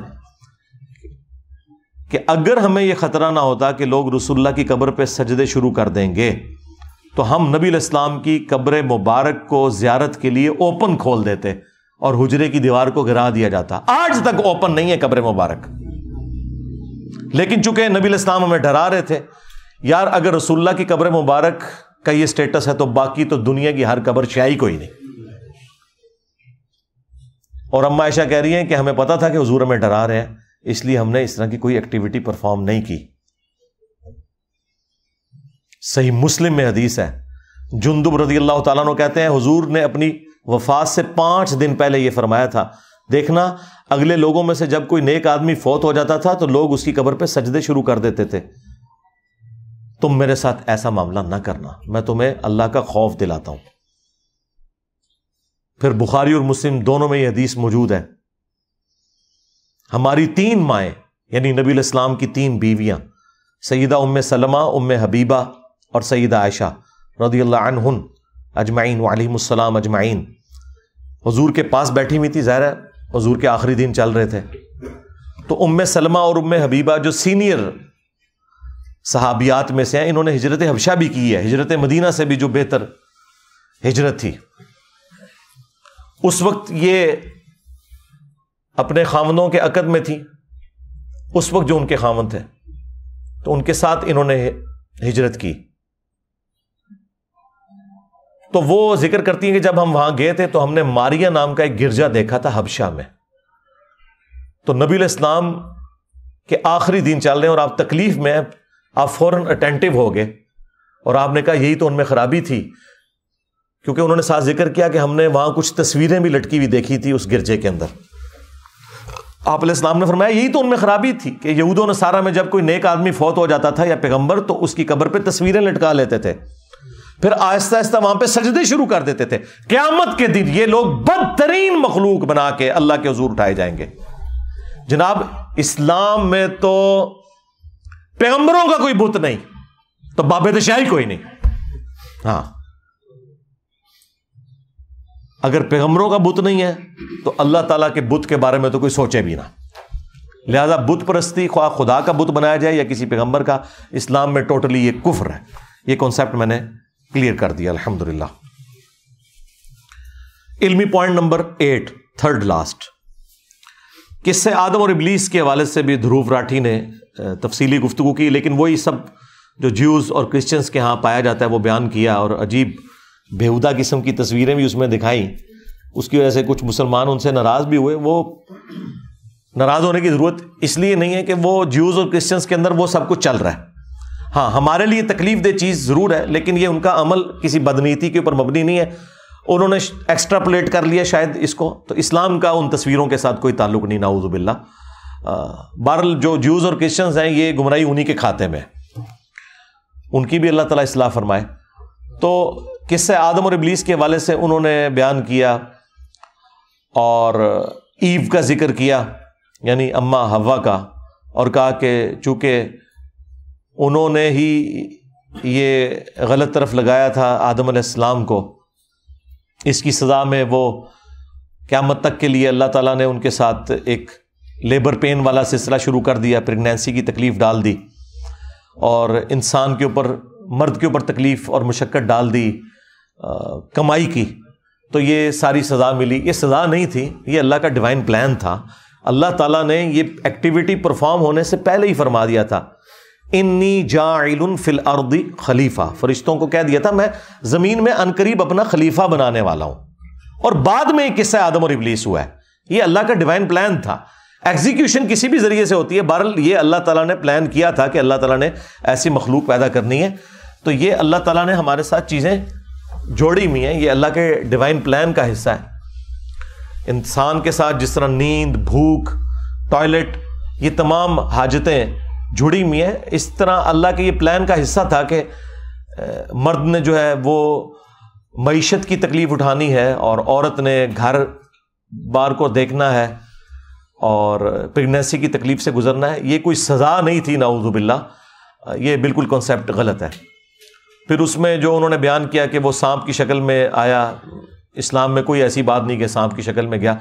शैतान को वसवसा दिलाने के लिए फिजिकली एंट्रेंस की ज़रूरत नहीं है, वो इंटेलेक्चुअल भी वसवसा दिला सकता है। और बेसिकली अल्लाह ने एक प्रोटोटाइप टेस्ट रखा था। देखिए, सब तरफ़ जन्नत में जाने की इजाज़त थी सवाए एक दरख्त के।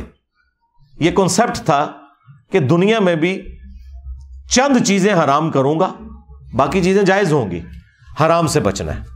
और वो हराम भी दुनिया में होंगी, आखिरत में इनाम के तौर पे वो चीज़ें मिल जाएँगी। जिस तरह मर्द के लिए सोना हराम है, आखिरत में मिलेगा। मर्द के लिए दुनिया में चार से ज़्यादा बीवियाँ करना हराम है, आखिरत में ये कोई इस तरह की कोई रिस्ट्रिक्शन नहीं है।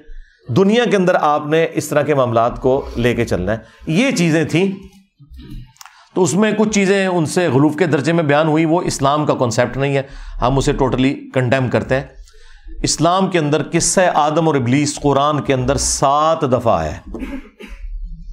सूरतुल बकरा के अंदर, सूरतुल आराफ के अंदर, सूरतुल हिजर के अंदर सूर सौद के अंदर सूर बनी इसराइल के अंदर सूर तोहा के अंदर और सूरतुल कहफ के अंदर।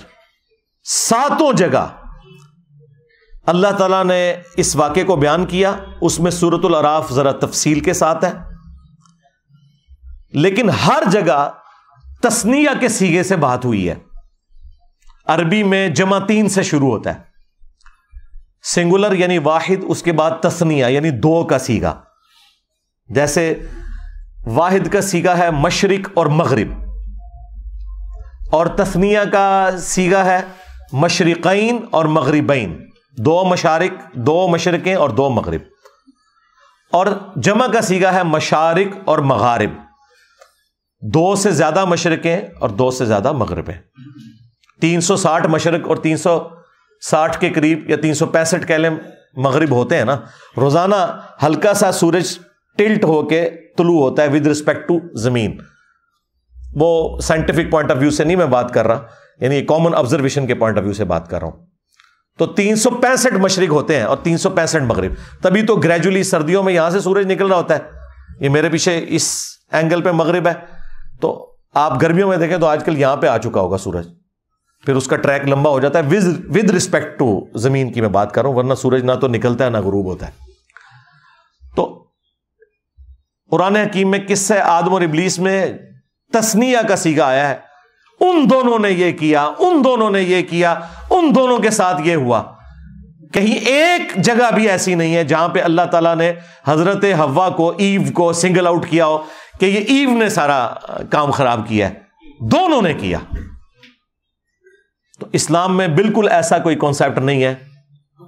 बिल्ला मिन जालिक कि ये हज़रत आदम सलाम इसमें बरीजुमा है और ये सारा कसूर जो है वो ईव का है। इस्लाम इस कॉन्सेप्ट को नहीं मानता। हाँ मशवरा अगर देने वाली बात है, वो अलग बात है। किया तो हज़रत आदम इस्लाम ने अपनी मर्ज़ी से। सही बुखारी में ये ज़रूर आता है कि मशवरा दिया था सैदा हवा ने। लेकिन किया तो मर्ज़ी से ना। वो तो कोई मर्द भी दूसरे मर्द को गलत मशवरा दे सकता है, लेकिन जब कोई करता है तो वो अपनी विल से करता है। कोई कान से पकड़ के नहीं किया किसी ने। इसीलिए अल्लाह ताला ने सिंगल आउट कभी भी नहीं किया। बल्कि एक जगह पर अल्लाह ताला ने आदम इस्लाम को सिंगल आउट ज़रूर किया है। लेकिन पूरे कुरान में कहीं ईव को सिंगल आउट नहीं किया। हमेशा तस्निया के सीगे से बात हुई है कि उन दोनों ने किया, उन दोनों ने यह किया, उन दोनों के साथ यह हुआ। तस्निया के सीगे के साथ बात हुई है, वाहिद के सीगे के साथ बात नहीं हुई। बाकी जो इस्लाम में माँ बाप का कॉन्सेप्ट है, इज़्ज़त का वो सिर्फ़ इस वजह से नहीं है कि माँ बाप मुशक्क़त उठाते हैं औलाद के लिए, बल्कि अल्लाह ताला ने ये डिवाइन हक अपनी तरफ़ से रखा है। कुरान हकीम में चार जगह अल्लाह ताला ने तोहीद के बाद माँ बाप के हक का ज़िक्र किया है। टॉप ऑफ़ द लिस्ट जो टेन कमांडमेंट्स आई हैं सूर्य बनी इसराइल में, जो Quranic version of ten commandments है, उसके स्टार्ट में आया वह कदा रब्बू का अल्लाह ताबुदू इया और तुम्हारे रब ने यह बात तय कर दी थी कि मत पूजना किसी को सवाए उसके। वबिल वालदेनी एहसाना, और वालदेन के साथ एहसान करना। और फिर यहाँ पे नहीं रोका, फिर फरमाया कि अगर बुढ़ापे की हालत में तुम उन दोनों को पाओ अपने पास, या किसी एक को भी तो उन्हें उफ भी ना कहना, और अपने कंधे आजजी के साथ झुका के उनके सामने रखना। और उनके लिए दुआ करते रहना। रब्बिर हम होमा कमा रब्बयानी सगीरा।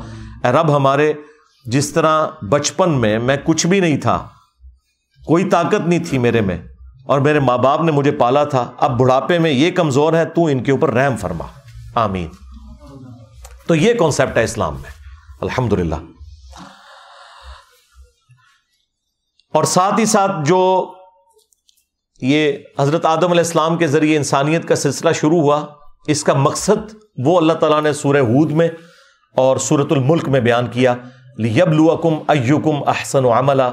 ये हमने सारी की सारी कायनात और तुम्हें इसलिए पैदा किया ताकि हम तुम्हें जांचें, तुम में से कौन नेक अमाल करता है। क़्यामत के दिन जो नेक अमाल करने वाले हैं, उनके लिए जन्नत और जो बुरे अमाल करने वाले हैं, उनके लिए जहन्नम। अल्लाह अजरना इल्मी पॉइंट नंबर नाइन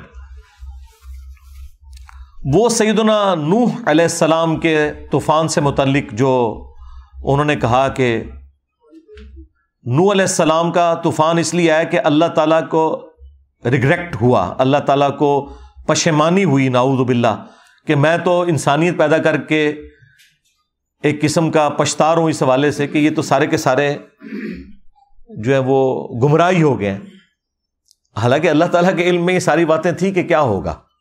वो तो अल्लाह के डिवाइन प्लान का हिस्सा है। अल्लाह ने कुरान में वाजे कह दिया वलकद जरा जहन्नम कसीरम मिनल जिन्नी वल इंस। बेशक जिन्नों और इंसानों की अक्सरियत जहन्नम में ही जाने वाली है। यह अल्लाह को भी पता था। कोई अल्लाह ताला को पशेमानी नहीं है। क्योंकि जहन्नम में तो इंसानों ने जाना है। अल्लाह ताला तो बेनियाज है। अपने करतूतों की वजह से जाना है। अल्लाह की तरफ़ से कोई ज्यादती नहीं है। अल्लाह ने पैगंबरों के ज़रिए हक का हक होना और बातिल का बातिल होना बता दिया है। और उससे भी पहले हमारी इंस्टिंक्ट में रख दिया है। हमारी जिबिल्लत में हर इंसान ख्वा उस तक पैगंबर की दावत पहुँची हो या ना पहुँची हो, झूठ बोलने को वो बुरा समझता है, सच बोलने को अच्छा समझता है। किसी को धोखा देने को वो बुरा समझता है, किसी के साथ खैर ख्वाही करने को अच्छा समझता है। हॉलीवुड की फ़िल्म में भी एंड पे सच की जीत दिखाई जाती है। क्यों? ये हमारी इंस्टिंक्ट के अंदर मौजूद है कि हमने सच का साथ देना है। इसकी वजह से अगर पैगंबरों की दावत ना भी पहुँचे, तब भी इंसान अकाउंटेबल है, अल्लाह ताला की बारगाह में। तो ये कॉन्सेप्ट जो है रिलीजन का, वो बिल्कुल क्रिस्टल क्लियर है। लिहाजा नू इस्लाम के हवाले से जो उन्होंने ज़िक्र किया, ये इल्मी पॉइंट नंबर नाइन में, उनसे मिस हैंडलिंग हुई। कि अल्लाह ताला इस हवाले से पशेमान हुआ, ऐसा कोई नहीं है। अल्लाह ताला ने सूरतुल अनाम में वाज फरमाया कि गैब की कुंजियाँ द नॉलेज ऑफ़ अनसीन वो अल्लाह ही के पास है। और जो कुछ भी खुशकियों में है या समुंदरों में, वो उसे जानता है। और कोई पत्ता नहीं गिरता। खास समुंदर के अंदर कोई दरख्त से पत्ता टूटे या खुशकी में, मगर उसके इल्म में और ज़मीन की गहराइयों में कोई दाना नहीं फूटता। Billions and trillions of seeds में से दरख्त निकल रहे हैं और पौधे निकल रहे हैं, लेकिन अल्लाह ताला माता है, हर दाने को मैं जानता हूँ। और ये मैंने लोहे महफूज में पहले ही लिख लिया हुआ है। और सूर्य अल हदीद में तो अल्लाह ताला ने फरमाया कि कोई मुसीबत भी ऐसी नहीं है जो इंसानियत पे या इस प्लेनेट अर्थ पे आती है, या किसी इंडिविजुअल इंसान के अंदर आती है।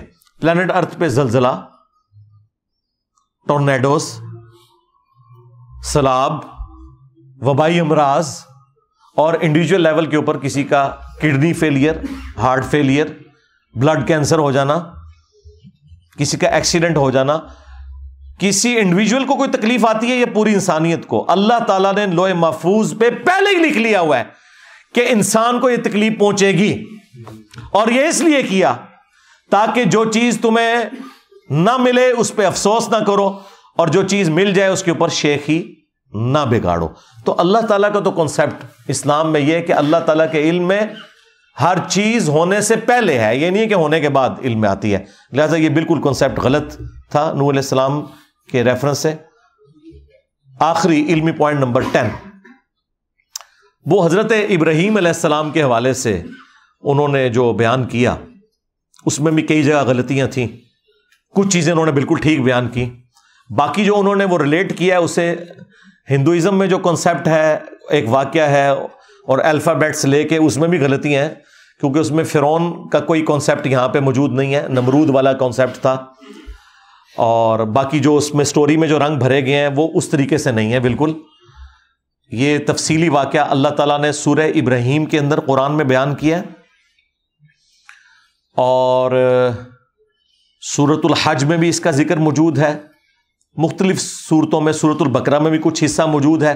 तफसील के साथ सूर्य इब्राहिम में और बुखारी और मुस्लिम दोनों के अंदर हदीस मौजूद है, जिसमें एक से ज़्यादा हदीस हैं, जिसमें ये पूरा वाक़ मौजूद है कि हज़रत इब्राहीम की दो बीवियाँ थी सैदा सारा थी, जिनके साथ वो हिजरत करके निकले और उनको औलाद कोई नहीं थी।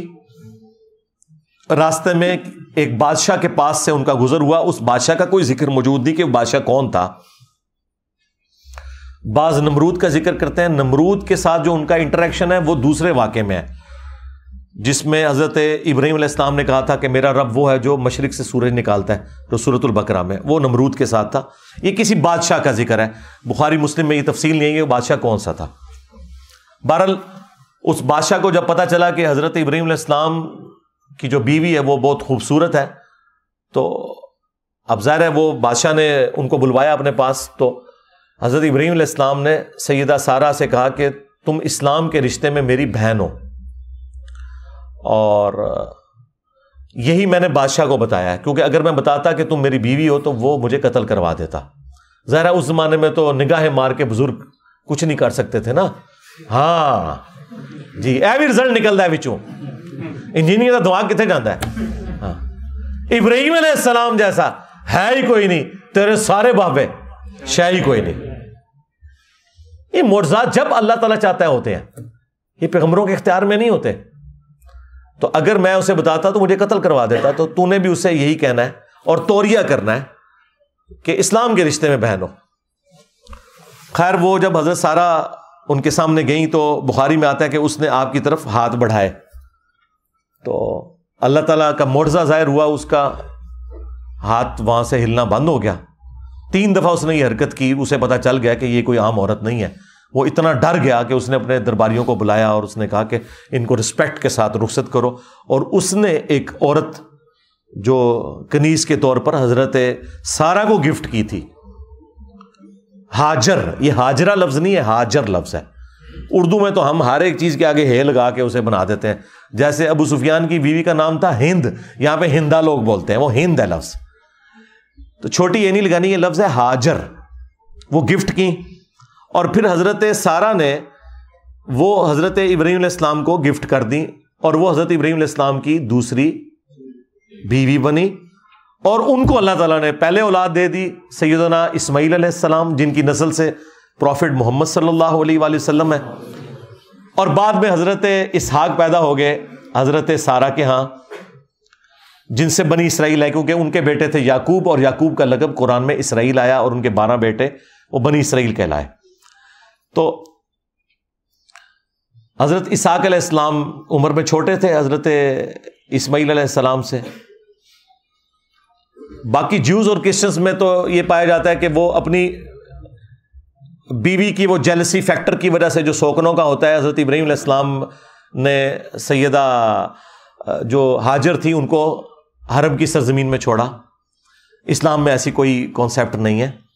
हो सकता है कोई बाज़ार ऐसी वजह बन गई हो। वो बाज़ाहिर तो कोई भी वजह बनती है, लेकिन जो बुखारी मुस्लिम में है और उसको स्पोर्टिव कुरान में सुर इब्राहिम में आयत मौजूद है और बाकायदा बुखारी मुस्लिम में अल्फाज हैं कि हज़रत इब्राहिम ने जो सैदा हाजर को और उनके बेटे इस्माइल को जब अकेला वो मक्के की सरजमीन में छोड़ा, जब बिल्कुल बेअबान था, कोई भी नहीं था वहाँ पे। और वो छोड़ के वापस हो गए। अब ज़ाहिर है उनका भी दिल पसीज रहा था, कोई बात भी नहीं की। और सैदा जो हाजिर थी, वो पीछे से आवाज़ दे के पूछती रही कि ये आप हमें खुद छोड़ के जा रहे हैं या अल्लाह के हुक्म के ऊपर। तो इस बात का जवाब हज़रत इब्राहिम इस्लाम ने बस दिया कि ये अल्लाह के हुक्म पे मैं छोड़। और किसी बात का जवाब नहीं दिया। और देखें उस औरत का अकीदा, मुवाहिदा, उन्होंने कहा कि अगर अल्लाह के कहने पे आपने छोड़ा है ना तो वो हमें ख्वार नहीं होने देगा यहाँ पे, फिर आप जा सकते हैं। ठीक है? ये अकीदा आप देखें कैसा, यानी पैगंबर की भी हाजत नहीं रही, जो हस्बैंड भी था, जब उन्होंने ये कहा कि अल्लाह के कहने पे छोड़ा है तो बस फिर वो बुखारी मुस्लिम में आया कि अल्लाह ताला ने जबरील इस्लाम को भेज के वो जमजम का पानी वहाँ से जारी कर दिया उनके लिए। वो चश्मा आज तक जारी है मक्के की सरजमीन में। और फिर हज़रत इब्राहिम इस्लाम की दुआएँ हैं सूर्य इब्राहिम के अंदर। देख लें, ब्याबान था, दुनिया का हर फ्रूट वहाँ पे पहुँच जाता है। इतने टूरिस्ट किसी जगह भी नहीं, इतने मुल्कों के जाते हैं जितने मक्के की सरजमीन में जाते हैं। ये हज़रत इब्राहिम इस्लाम की दुआओं का एक सिलसिला और आज तक इस ज़माने में भी चार से पाँच मिलियन लोग, चालीस पचास लाख लोग हज करते हैं। सुन्नत इब्राहिमी हम उसे कहते हैं, देख लें। कुर्बानी को हम सुन्नत मोहम्मदिया नहीं कहते, सुन्नत इब्राहिमी कहते हैं। क्योंकि हमारा दीन दीन इब्राहिमी है। मोहम्मद रसूलुल्लाह सल्लल्लाहु अलैहि वसल्लम के जद्द अमजद, इब्राहिम इस्लाम मिल्लत अबीकुम इब्राहिम। पैरवी करो अपने बाप इब्राहिम की मिल्लत की। हुआ सम्माकुमुल मुस्लिमीन। मिन कबल वफ़ी हादा जिन्होंने कुरान के नजूल से पहले ही तुम्हारा नाम मुस्लिम रख दिया था और अल्लाह ने भी इस किताब के अंदर तुम्हारा नाम मुस्लिम रखा है।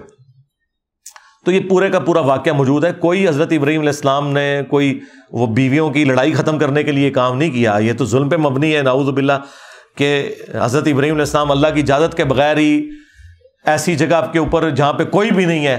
अपने बीवी बच्चों को मरने के लिए रेगिस्तान में छोड़ देते। नाउज़बिल्ला ऐसी कोई बात नहीं थी। ये उनकी तरफ़ बिल्कुल गलत बात मंसूब की गई है। इस्लाम में ऐसा कोई कॉन्सेप्ट मौजूद नहीं है। बाकी जो बुतों को तोड़ने का ज़िक्र है, वो सूरतुल के अंदर तफसील के साथ आया है।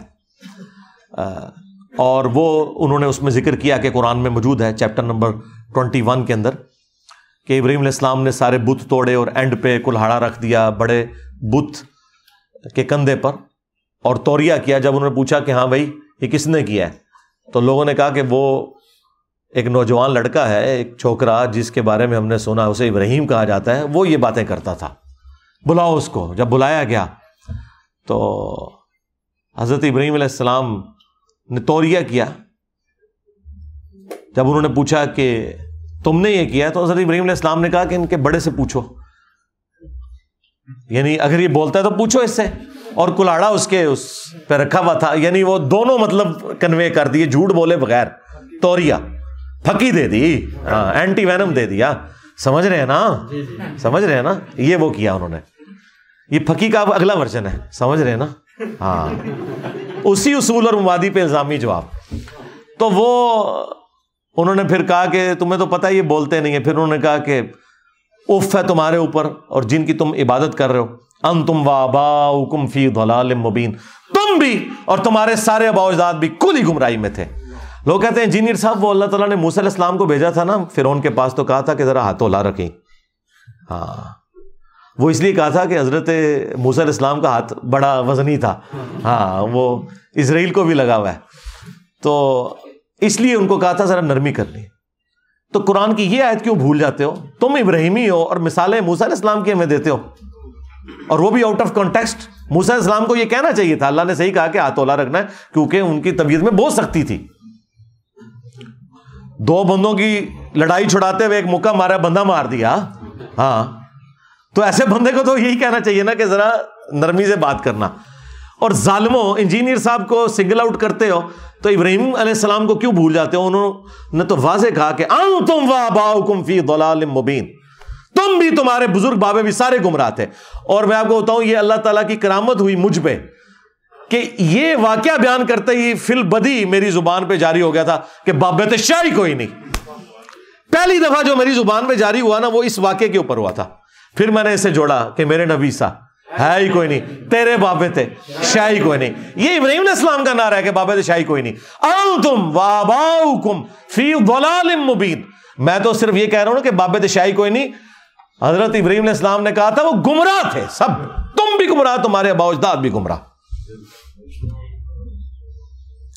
तो ये वाक्य पूरा सूरतुल अंबिया के अंदर मौजूद है और सूर्य मरियम के अंदर। ये दो जगह तफसील के साथ आया, वो आप देख सकते हैं। और बाकी अगर आपने तफसीलात देखनी है तो पी के फ़िल्म देखें, हम बार बार मशवरा देंगे। बाकी एंड पे मैं ध्रुव राठी के लिए कहूँगा कि मैं पर्सनली आई लव यू अल्हम्दुलिल्लाह I respect all of your efforts to educate the people of subcontinent जो इंडिया और पाकिस्तान के जाहिल लोग, जिनके हुक्मरानों ने कोई पैसा नहीं लगाया इनको एजुकेट करने के लिए, एक अकेला शख्स जिसका ताल्लुक इंडिया से है, वो मिशन उठाता है, जो बाई प्रोफेशन एक मैकेनिकल इंजीनियर है। और उसने वो सारी की सारी तकलीफ़ भी उठाई हैं।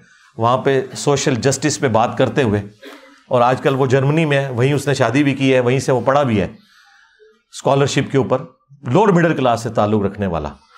और उसने आज मिलियंस ऑफ़ पीपल के लिए वो तमाम नॉलेज जो इंग्लिश ज़ुबान के अंदर था, वो आसान फहम अंदाज में उर्दू ज़ुबान में पहुंचाती है।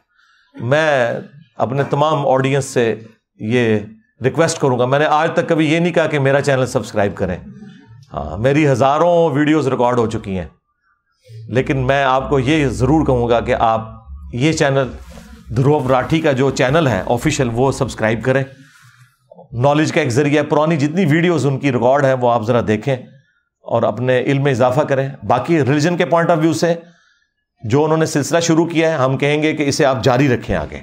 लेकिन जिस तरह आप बाकी मामला में बुक्स को फॉलो करते हैं और सच्चाई और झूठ में फ़र्क करते हैं, यहाँ भी आपने इस्लाम की जो प्राइमरी बुक है कुरान इसके रेफरेंसेस आपने कोट करने हैं।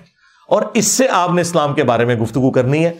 हम वो मौलवियों वाली या पंडितों वाली या पादरियों वाली बात नहीं करेंगे कि जी, आपको कोई राइट नहीं पहुँचता बात करने का। नहीं, हर इंसान को राइट है, वो बात करे। अल्लाह ताला ने हर इंसान को सोचने का इंस्ट्रूमेंट दिया इस्लाम तो कहता है, वला तक फुमा लई सल कभी इल्म.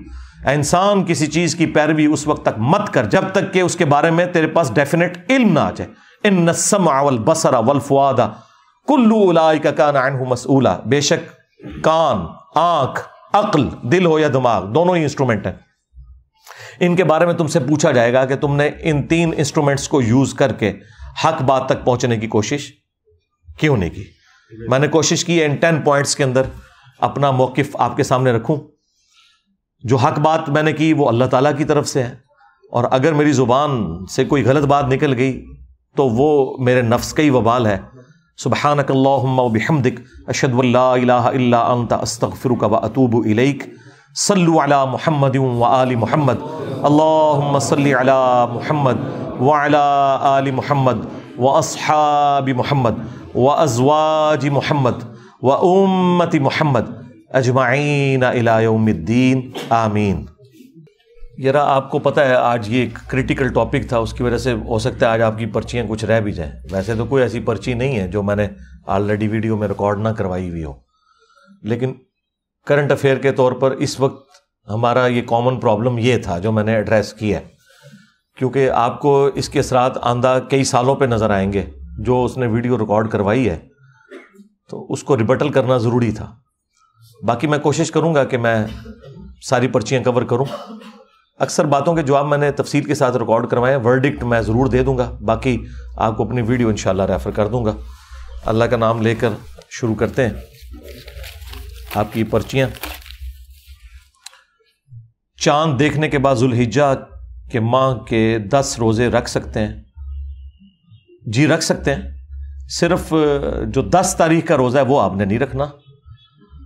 वो बुखारी मुस्लिम में मौजूद है कि आपने ये जो रोज़े हैं, अबू दाऊद में मौजूद है हदीस तफसील के साथ कि दो दिन नबी इस्लाम ने रोज़ा रखने से मना किया ईद फितर और ईद अहा और उसके अलावा मुस्लिम शरीफ में आया कि जो ये अयाम तशरीक हैं, ये खाने पीने के दिन हैं, उनमें भी आप रोज़ा नहीं रख सकते।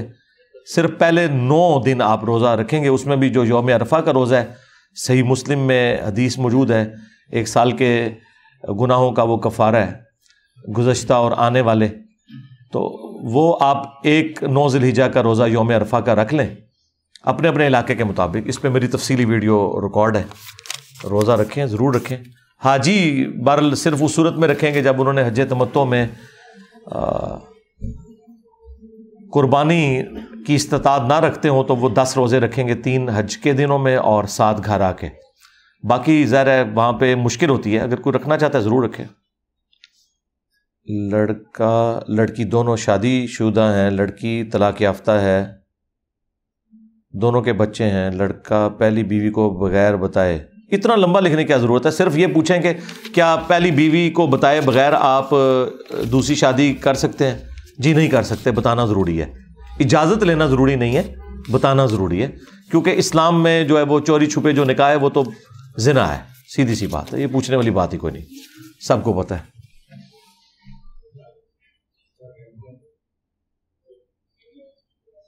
बाबा शादी शहीद दरबार से एक ठेकेदार गोश्त और सीरी पाई लाकर बाज़ार में फ़रोख करता है। आया ये सामान, हम खरीद कर इस्तेमाल कर सकते हैं। हाँ जी, कर सकते हैं।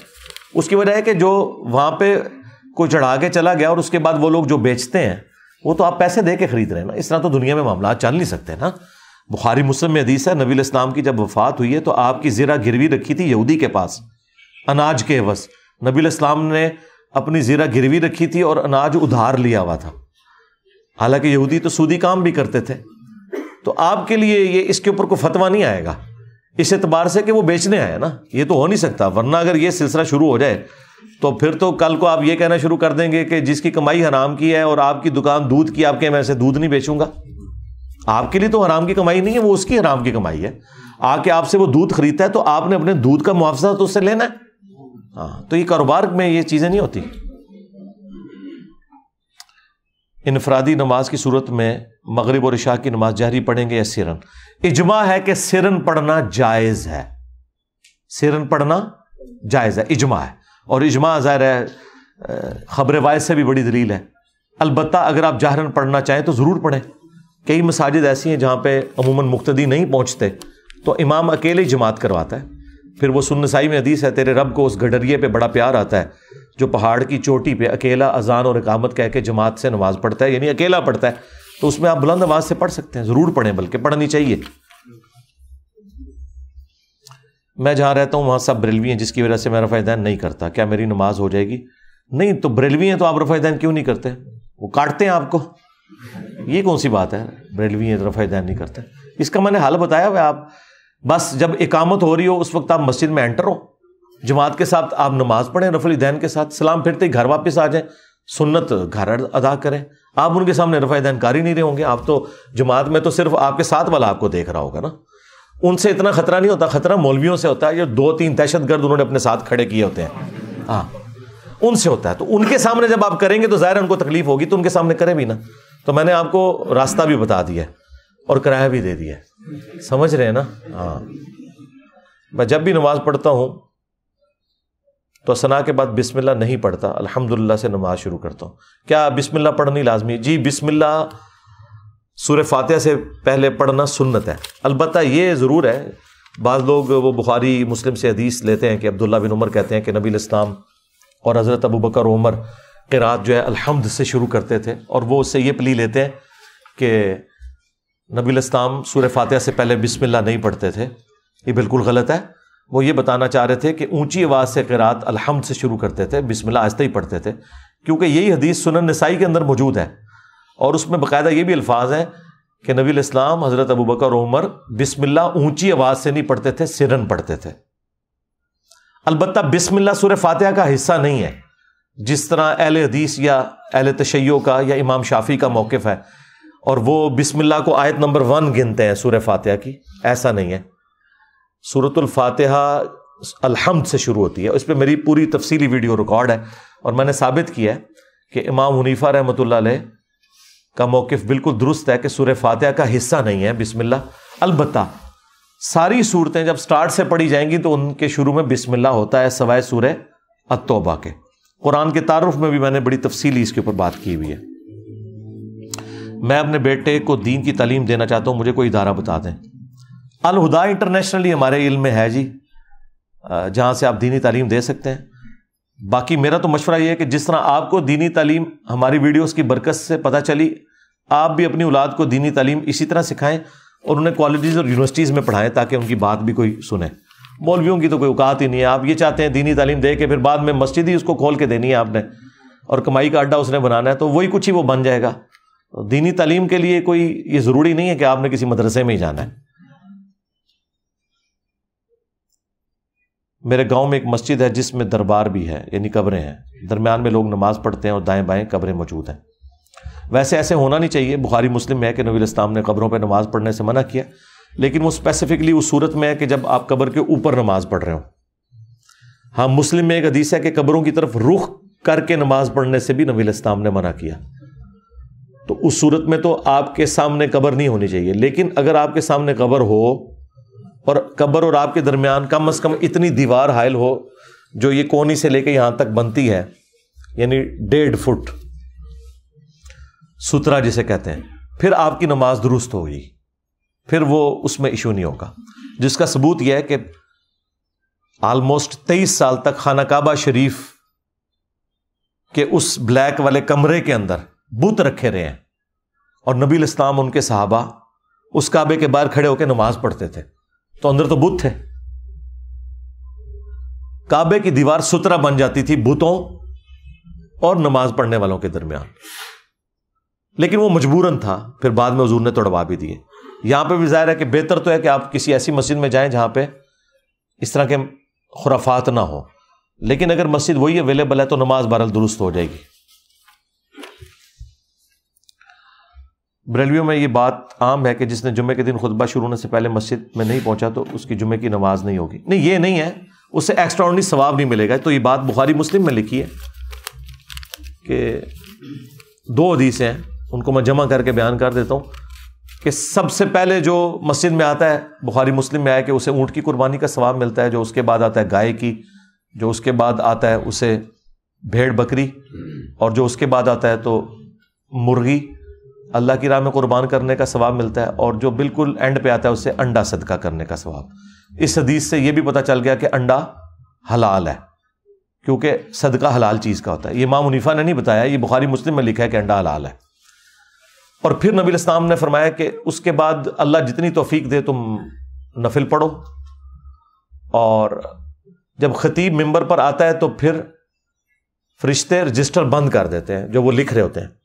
और वो भी फिर खतीब की तकरीर सुनना शुरू कर देते हैं। पता नहीं आजकल कैसे सुनते होंगे वो। बहरल ज़ाहिर ये स्टोरी ही सुना रहे होते हैं। और वो रजिस्टर बंद हो जाता है। यानी वो रजिस्टर जिसमें एक्स्ट्रा सवाब है जुम्मे का, वो तो बंद हो जाएगा। अलबत्ता, जो एक टोटल पूरा करने वाला मामला है ना, वो तो आप नमाज़ में शामिल हो गए तो आपको जुमे की नमाज़ का सवाब मिल जाएगा। लेकिन जो एक खसूसी सवाब था ना, वो ख़त्म हो जाता है। जुम्मा बहरल आपका हो जाएगा। अगर निकाह हो जाए लेकिन रुस्ती ना हो तो क्या मियाँ बीवी ताल्लुकात के के तमाम ताल्लुकात जायज़ होंगे? नहीं जी, नजायज़ होंगे। वॉन्ट डिक्लेयर्ड है। क्योंकि जब फिर आपकी बाद में नाराज़गी हो जाएगी तो एक दूसरे के ऊपर आप झूठी तोहमतें लगाएँगे और पूरे माशरे को आप एक दंगा और फसाद की जगह बनाएँगे। ये बेगैरती बिल्कुल आपने नहीं करनी। यहाँ तो मंगनियों के ऊपर सिर्फ़ मैसेजिंग के तबादले के ऊपर मंगनियाँ टूट जाती हैं। आप कुछ कर बैठे और कल को उस औरत के ऊपर आप इल्ज़ाम लगा दें। ये लानत नहीं खटनी आपने। कोई जायज़ नहीं होंगे। रुख्ती का कॉन्सेप्ट ही यही है कि रुख्ती के बाद जायज़ होगा, जो कुछ होना है। हाँ जी। पहले नजायज़ ही होंगे ताल्लुकात। रुख्ती करवाए ना आप, ये काम क्यों कर रहे हैं? सिगरेट नोशी छोड़ने के लिए कोई आयत सुना दें। आयत और हदीस से नहीं, सिगरेट नोशी छूटती। हाँ। हाँ। इसके लिए आपको एक विल पावर की ज़रूरत है और फिर अगर ज़्यादा आप एडिक्ट हैं तो कोई मेडिकल इलाज करवाएँ इसका। हाँ जी। आज तक कोई दम दरूद करने से खतना हुआ है? या ब्लेड मारना पड़ता है? हर चीज़ का एक इलाज है ना मेरे भाई, इस तरह तो नहीं होता। इमाम नाफ पर हाथ बांधे और रफादान ना करे तो हदीस में आता है कि इमाम की पैरवी करना लाजमी है। जिस इमाम की पैरवी करना लाजमी है ना, वो तो वो हैं जिनकी कब्र मदीने में है, सल्लल्लाहु और जो इमाम उस इमाम के साथ गद्दारी कर रहा है तो उसकी पैरवी का हुक्म तो किसी हदीस में नहीं आया। ये तो मैंने तो कोई ऐसी हदीस नहीं पढ़ी है कि नबी इस्लाम ने यह फरमाया हो कि जो इमाम मस्जिद मेरी सुन्नत का मज़ाक उड़ा रहा है, मेरी सुन्नत को छोड़ रहा है, तुमने उसकी पैरवी करनी है। ये तो बिल्कुल जहलाना सवाल है। हाँ इमाम की पैरवी इंतकाल के अंदर करनी है आपने, एक रुकन से दूसरे रुकन में मुंतकिल होने के लिए। वो बुखारी मुस्लिम में हदीस है, जो इमाम से पहले रुकू से सर उठा लेता है, उसे डर जाना चाहिए कि अल्लाह ताला उसके सर को गधे के सर से ना बदल दे।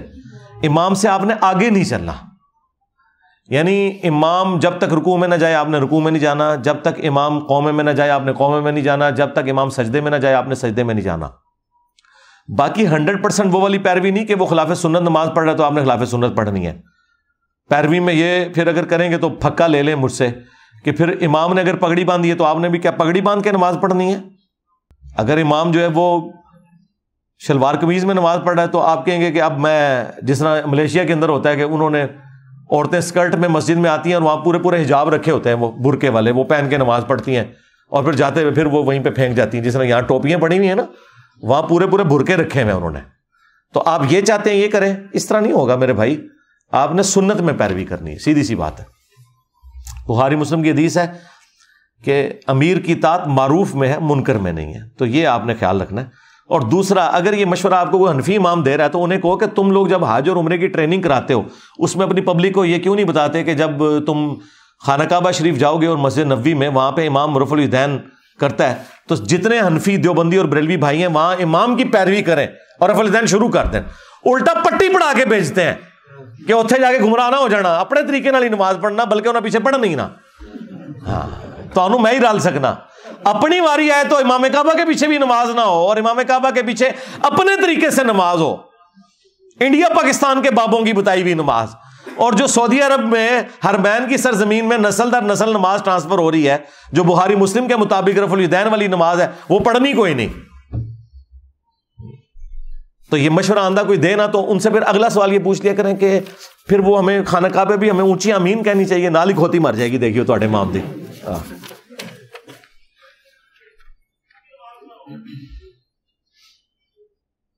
कुर्बानी के लिए जानवर की उम्र शर्त है। जी, दोंदा होना शर्त है।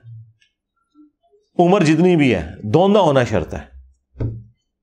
जब तक दोंदा नहीं है, एक कहते पक्का खीर है, पक्का एक साल का नहीं नहीं। दोंदा होना, मुस्लिम में वाजे अल्फाज मौजूद है कि मुसन्ना की कुर्बानी होगी, जिसके दो दान नीचे वाले निकले हुए होते हैं। बकरा दूसरे साल में जाके दोंदा होता है, गाय तीसरे साल के स्टार्ट में होती है, और ऊँट पाँचवें साल के स्टार्ट में होता है। अनफी रात अनफी रात का क्या लेना देना कुरान हदीस के साथ भाई?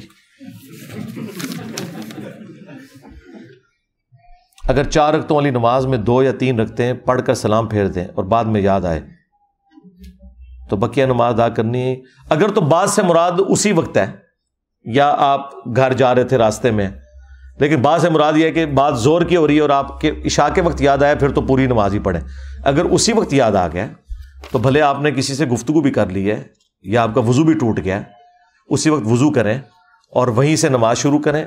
जो एक रकत रह गई थी, वो पढ़ें और उसके बाद सजदा साफ़ करें, आपकी नमाज़ दुरुस्त है। बुखारी, मुस्लिम में इस पर हदीस मौजूद है। नबी इस्लाम तो ज़ोर या असर की दो रखते पढ़ा के मस्जिद से भी बाहर चले गए थे तो एक साहबी ने पीछे जाके कहा यारसोल्ला नमाज़ कम हो गई है या आप भूल गए? तो आपने फरमाया, ना नमाज़ कम हुई और ना मैं भूला हूँ। यानी आप ये भी भूल गए कि आप भूल चुके हैं। हाँ। आप बाबों के इल्म गैब को लेके बैठे हुए हाँ। ये बुखारी मुस्लिम में अल्लाह के नबी इस्लाम के बारे में। फिर बाकी साहबा ने भी कहा रसुल्ला आप भूल गए तो आपने फिर चार रखते पूरी की, उसके बाद सलाम फेर के कहा कि मैं भी एक इंसान हूँ। अगर भूल जाऊँ तो मुझे याद करवा दिया करो। सैदा साहब के मसाइल जो है ना अहकाम मैंने तफसीली उस पर गुफ्तु की है उसमें ये हदीसें बताई हैं। तो नबी इस्लाम ने कोई आर महसूस नहीं की इस हवाले से। बुखारी मुस्लिम हदीस है, नबी इस्लाम मस्जिद में तशरीफ़ लाए। तो आप फ़ौरन फिर बाहर निकल गए और कहा कि इंतज़ार करो, मैं आता हूँ। फिर आप तुलु आफ्ताब से थोड़ी देर पहले आए, इस हाल में कि आपकी जुल्फ़ों से पानी टपक रहा था और आपने कहा कि मैं जुन भी था, लेकिन मैं गुसल करना भूल गया। तो मैं गुसल करके अब आया हूँ। ये भी हो जाता है मेरे भाई। जब एक शख्स नेक माल करता है तो वह माल नामे में महफूज हो जाते हैं और जब वो बुरे माल करता है, जैसा कि नमाज़ छोड़ना तो क्या उसके पिछले नेक माल ज़ाया हो जाता है नहीं, पिछले नेक माल ज़ाया नहीं होते। पिछले नेक माल ज़ाया होते हैं कुफर करने से। और उसमें भी अल्लाह की रहमत है कि कोई शख्स तोबा करके दोबारा इस्लाम में आए तो वह माल भी वापस आ जाता है। हाँ इस पर भी इजमा है।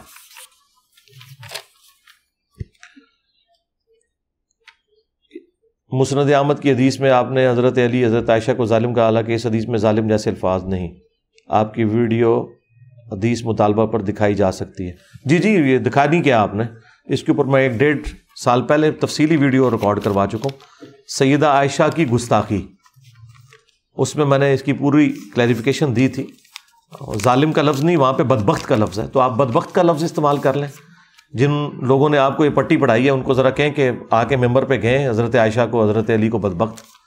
तो फिर आपको पता चलेगा कि ालिम लफ्ज़ तो बहुत छोटा है। तो मैंने तो उसको सॉफ्ट उर्दू में बयान किया था। वहाँ पे शक्की के अल्फाज मौजूद हैं, बदबख्त के। तो मैंने उसे सॉफ्ट ालिम का लफ्ज़ इस्तेमाल किया था और ालिम अरबी ज़ुबान में और उर्दू में कहते हैं, जो बंदा राय हक से हट के कोई बात करे। और यहाँ तो पूरा लफ्ज़ है बदबख्त। तो बाकी तफसील आप उसमें देख लें। पाकिस्तान में कौन सा निज़ाम बेहतर है, जमहूरियत या खिलाफत? खिलाफत ही बेहतर है और जमहूरियत, इस्लामिक डेमोक्रेसी जो है, वो खिलाफत की ही मॉडर्न फॉर्म है।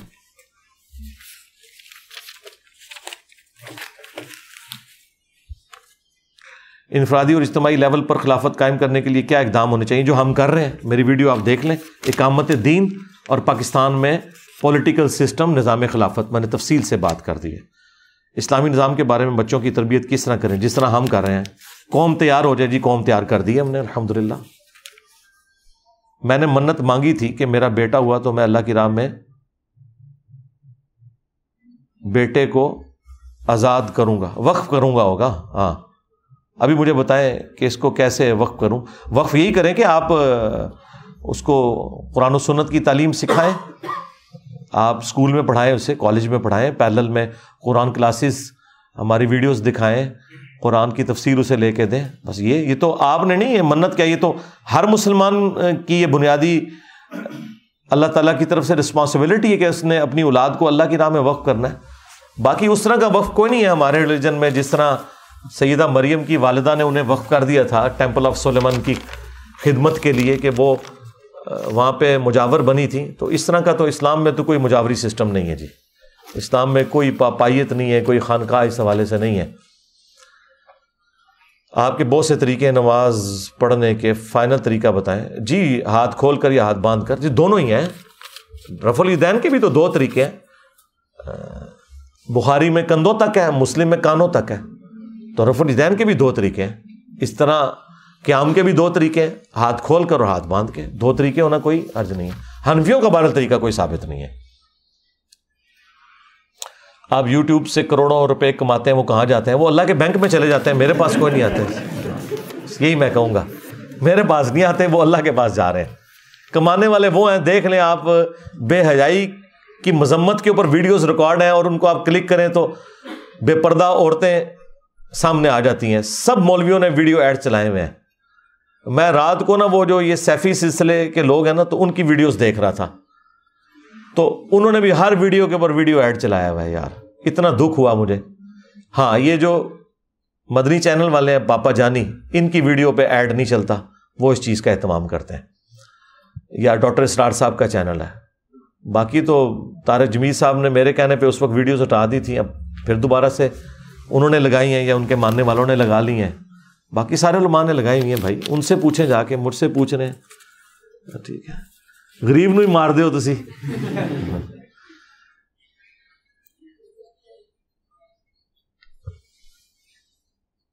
बुखारी में हदीस है कि मस्जिद इसलिए नहीं कि किसी का जानवर या कीमती चीज़ का ऐलान करा ये बुखारी में नहीं मुस्लिम में हदीस मौजूद है कि नबी इस्लाम ने फरमाया कि अगर कोई ऐलान करे तो उसे ये कहो कि तुम्हें वो चीज़ ना मिले। इस पे वो कह रहे हैं, पोलियो और हिफाजी टीके का ऐलान कराना जायज़ है। हाँ जी, वो तो इसमें नहीं आता ना। वो आप ऐलान कर सकते हैं। सिर्फ़ यह कि उसे कारोबार ज़िंदगी की जगह नहीं बनानी है आपने। जो फ़ी सबील्ला चीज़ें वो मस्जिद से अनाउंसमेंट होगी। अगर कोई नागहानी आफत आ रही है, उसकी अनाउंसमेंट भी आप करेंगे। मस्जिद इन कामों के लिए नहीं कि वहाँ पे कोई कारोबारी मामला हों या किसी की चीज़ घूमी है तो आपने जाके वहाँ पे अनाउंसमेंट करके तमाशा लगा देना है। और बल्कि आप तो मस्जिद के ऐलान की ज़रूरत ही नहीं है। बाहर आप रक्शे वाले को पैसे दें, स्पीकर वाले आपको किराए पे मिलते हैं, वो करवाएँ। आप हाथ खोल कर नमाज़ पढ़ते हैं, लेकिन आपके स्टूडेंट हाथ बाँध कर, दोनों तरीके मैंने बता दिए, जायज़ है। मैंने दोनों तरीकों से पढ़ता हूँ। जब आप मर जाएँगे तो हम किसको सुनेंगे? आपकी नज़र में इस वक्त कौन है? मेरे भाई, मेरी नज़र में उस वक्त कौन होगा? वो अल्लाह ताला आपको खुद बताएगा, मुझे क्या पता है कि किसने बाद में ये मामले को लेके चलना है। बाकी तो कोई चीज़ छोड़ी तो नहीं, मैंने अल्लाह के फजल से जो रिकॉर्ड ना करवा दी हो। हमारी आने वाली नस्ल के लिए, तबलीग के लिए चंद बंदे आपके अलावा आप जो बता दें। मेरे भाई, मैं किसी की ज़िम्मेदारी उठाने के लिए तैयार नहीं हूँ। मैं किसी के लिए तारीफ़ के दो जुमले बोल दूँ ना, उस बंदे की सारी खराबियाँ और गंद मेरे खाते में डलना शुरू हो जाता है। इसलिए मैंने तो तोबा की हुई है।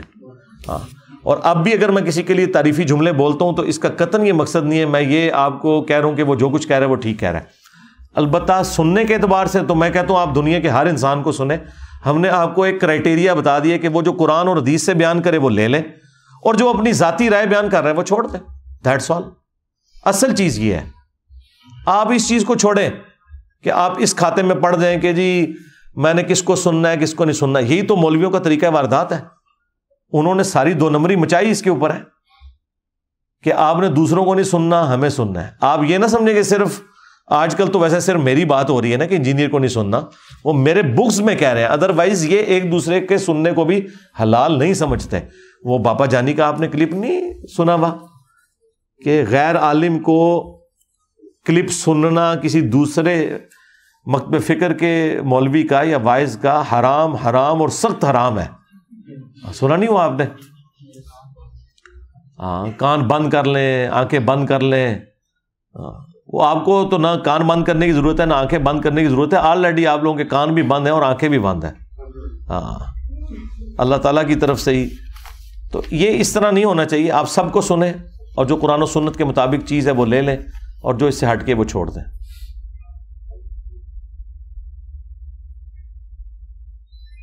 किसी को कहना कि तेरी माँ का खसम आया है,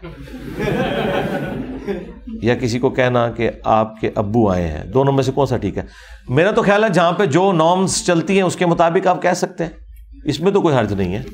ये तो उस इलाके पर डिपेंड करता है। देखें, हमारे यहाँ पे जेलम शहर में ना, आप किसी को कहना कि उदा प्यो है तो लोग इसे बुरा समझते हैं। लेकिन पंजाब में ऐसे इलाके मौजूद हैं जहाँ पे प्यो के लफ्ज को बुरा नहीं समझा जाता। यहाँ पे किसी को बेबे कह दिया जाए, कोई अपनी माँ को बेबे कह ले तो बाज जगह पे इसे बुरा समझा जाता है। और बाज जगह वो पुकारते ही बेबे कह के ये तो हर इलाके में अपनी जगह मेरा ख्याल है इसके ऊपर कोई शरीफ फतवे वाली तो कोई बात नहीं होनी चाहिए। आपका अपना राइट है, किसी भी हवाले से कोई बात कर रहे हैं तो इसमें तो नहीं। आपकी ज़्यादातर बातें सही हैं, लेकिन लहजे में बोल सकता है। तो भाई, आप लहजा नरम करके बात कर लें। हमने तो ओपन ऑफ़र की हुई है। पिछली बार भी मेरे पास कुछ भाई आए थे, मैंने उनको कहा था, मेरे भाई मैं आपको कुदाल और बेलचे खरीद देता हूँ, ठीक है? मुस्लिम शरीफ की हदीस का आपको हवाला दे देता हूँ कि कब्रों पे इमारतें मत बनाओ, कब्रों को पक्का मत करो, कब्रों पे मत बैठो। और आपके एक गाल में शहद और दूसरी गाल में गुड़ भी रख देता हूँ। और दाता दरबार तक आपको गाड़ी भी बुक करवा देता हूँ। हाँ? मुस्कुराते हुए मेरे प्यारे प्यारे मीठे मीठे इस्लामी भाइयों आ जाओ। आज नबी की हदीस पे अमल करेंगे हम माशा ताला। हाँ और यहाँ पे जो दफन है सैयद अली बिन उस्मान हजवेरी वो तो खुद आलुल बैत से हैं। इन उनकी रूह खुश हो जाएगी। आज हम सुन्नत को ज़िंदा करेंगे इनका मज़ार तोड़ के। हाँ? मनु गला कर दो न सोई तू हाँ समझ रहे हैं ना मेरी बात? हाँ, हाँ। तो भाई छोड़े, मुझे मशवरा वो बंदा देगा जो मेरे जैसा काम करेगा। काम करना कोई ना। तो कहना, आटा गूंदे हिल्दी क्यों है? हाँ मेरा ये दावा है और मेरा चैलेंज रहेगा। मेरे से ज़्यादा नरम बंदा इस प्लेनेट अर्थ पे कोई नहीं, इस वक्त अगर है तो मुझे बंदा बता दें। बशर्ते कि वो मेरे जैसे टॉपिक्स पे बोलता हो और मेरे जैसी तब्दीली उसने ला के दिखाई हो। तो वो बंदा ले आए, इंशाल्लाह उसको मैं इधर बिठाऊँगा। द टाइम क्या मत आ जाए अली भाई, आजकल एक मनकबत है, तुमसे मिलने लहद में अली आएँगे। ये इस तरह की ये सारी चीज़ें गुलूब पे मबनी है, इनका इस्लाम से कोई ताल्लुक नहीं भाई। छोड़े। मोहम्मद सल्लल्लाहु अलैहि वसल्लम के दोनों कंधों के दरमियान मोर नबूत किस शक्ल की थी? अंडे की शक्ल के थी जी। बुखारी में भी मौजूद है, मुस्लिम में पूरी तफसील मौजूद है, जितना कबूतर का अंडा होता है उतनी थी। ये दो कंधों के दरमियान गोश्त का एक लोथड़ा था जो उबड़ा हुआ था। और बुखारी में आता है कि ये यानी वो एक साबी, वो कहते हैं, मैं छोटा सा था उस वक्त तो नबी इस्लाम के गिरबान से हाथ डाल के तो मैं उससे खेला करता था तो मेरे बाप ने मुझे डांटा तो हजूर ने कहा, ठीक है, ऐसे करने दो, बच्चा है, छोटा है. तो ये नबी इस्लाम की नबी होने की एक बहुत बड़ी दलील थी।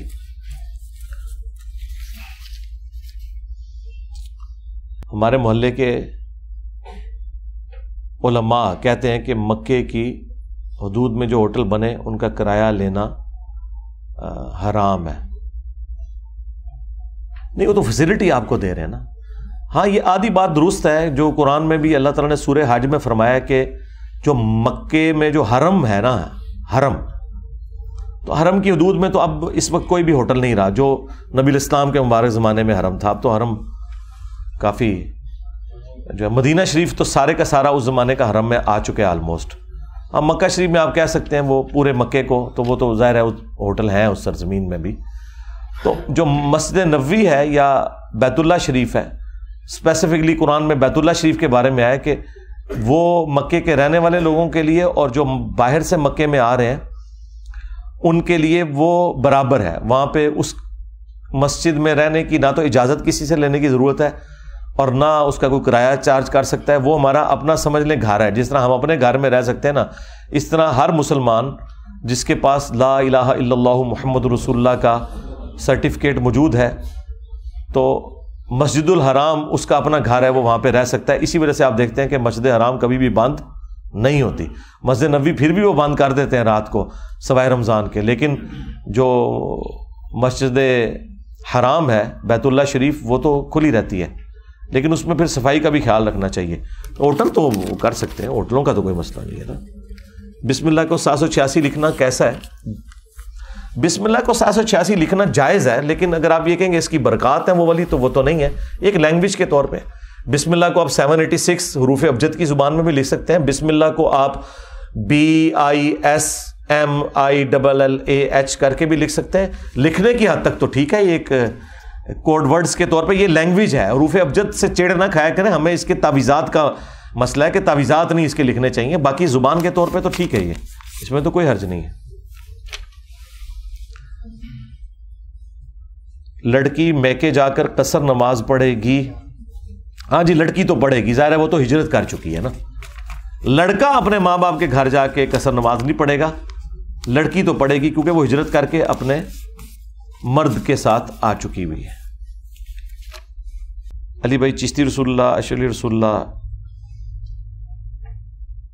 इनकी कुफरियात बयान करते हैं, उनके पीछे नमाज़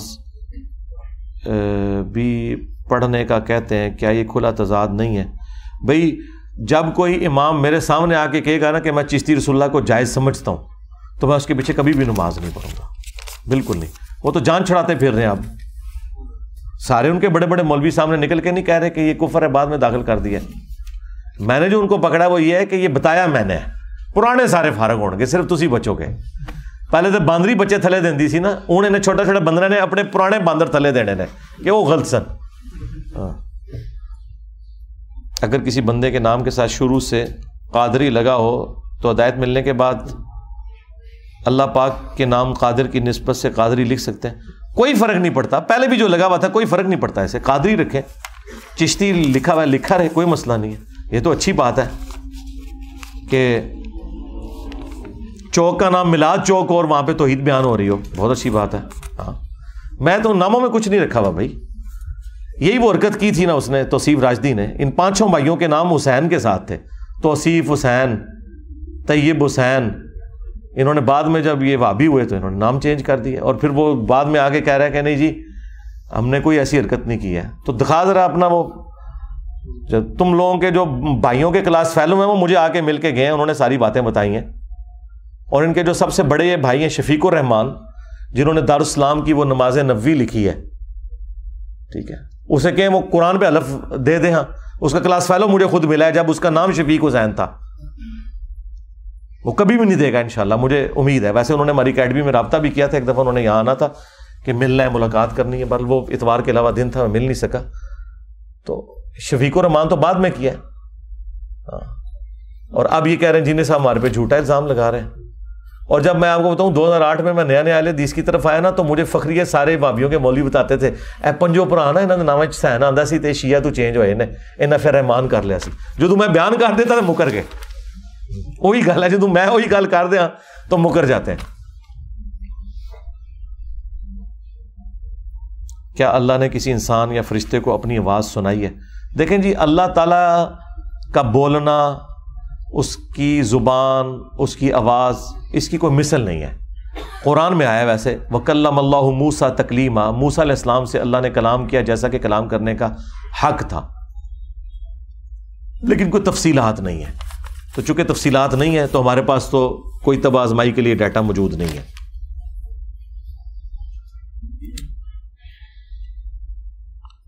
What are the responsibility of a teacher in this दावा how can I teach my students a real lesson of life आप सबसे पहले तो ये मुझे बता देना आप किस सब्जेक्ट के टीचर हैं। तो टीचर की ज़िम्मेदारी है कि जो सब्जेक्ट की आप तनख्वाह ले रहे हैं, बस वही पढ़ाएँ जी। इस तरह आपका कोई इख्तियार नहीं है।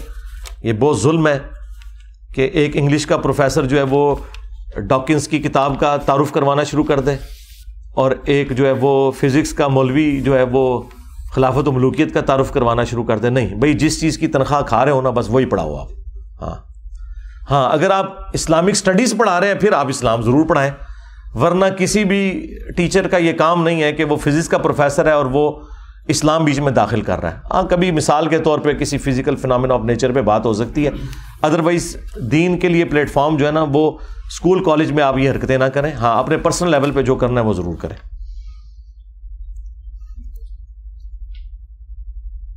अगर सगा भाई मकान खाली नहीं कर रहा हो तो क्या करें? भाई जुडिशरी का केस है, किसी वकील से रबता करें। बाकी लड़ाई तो नहीं आप कर सकते, अदालतों से ही रुजू करेंगे ना। मेरे ऊपर सात लाख रुपए कर्ज है, लेकिन कुर्बानी की रकम इस वक्त मेरे पास मौजूद है तो मैं कुर्बानी दे सकता हूँ। कुर्बानी आप दे तो सकते हैं, लेकिन आप कर्ज उतारें जी। मुस्लिम शीफ में हदीस है, कर्ज तो शहीद का भी मुआफ नहीं होना। और बुखारी मुस्लिम में हदीस है, नबी इस्लाम मकरूज का जनाजा भी नहीं पढ़ाते थे, जब तक कि उसका कर्ज ना उतर जाए।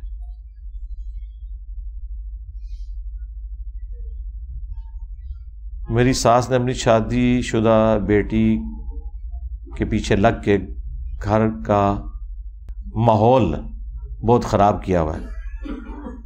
और घर का सामान उठाकर बाहर रख देती है जबकि जिस कामयाबी उस कामयाबी भी पता नहीं यार ये उर्दू तो जरा पढ़ के सही तरह लिख दिया करो। भाई कहना क्या चाह रहे हो? हाँ, हाँ। अब मैं क्या करूँ मेरे भाई? हम तो सब्र की तलकीन नहीं कर सकते हैं। अगर कानूनी मामला है तो कानूनी इख्तियार करें। मियाँ बीवी की लड़ाई का जो कुरान में सलूशन ये आया है कि आपने जब मियाँ बीवी की लड़ाई हो तो एक हकम मर्द की तरफ़ से और एक हकम औरत की तरफ़ से बैठेगा। एक बड़ा, यानी दो तरफ़ से बड़े बैठेंगे और वो आपस में एक दूसरे के साथ डिस्कशन करके कोई रास्ता हक के तलाश करने की कोशिश करेंगे। बस ये है।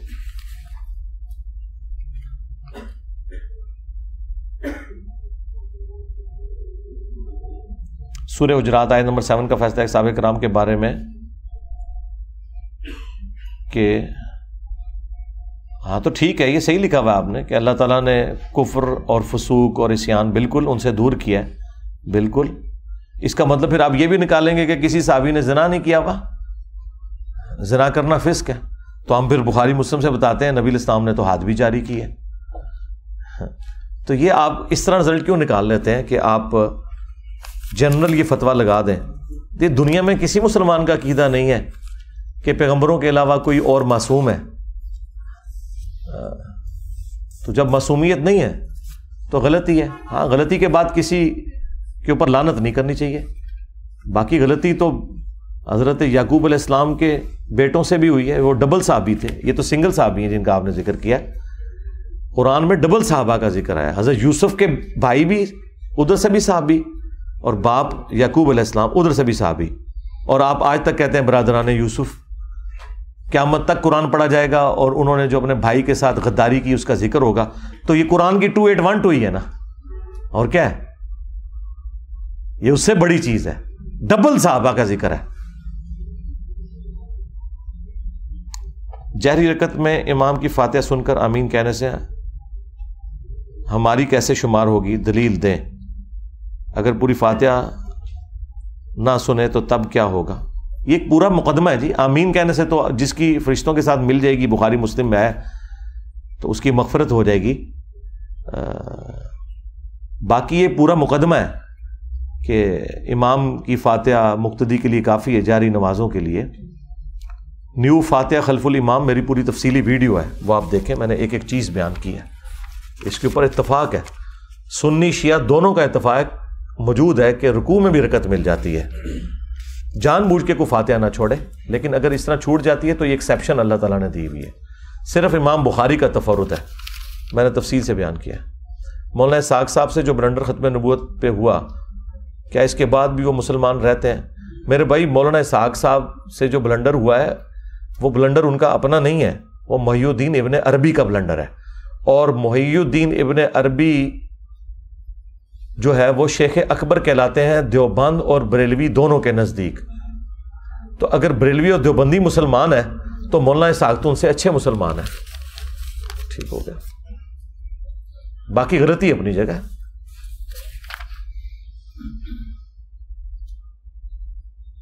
अगर किसी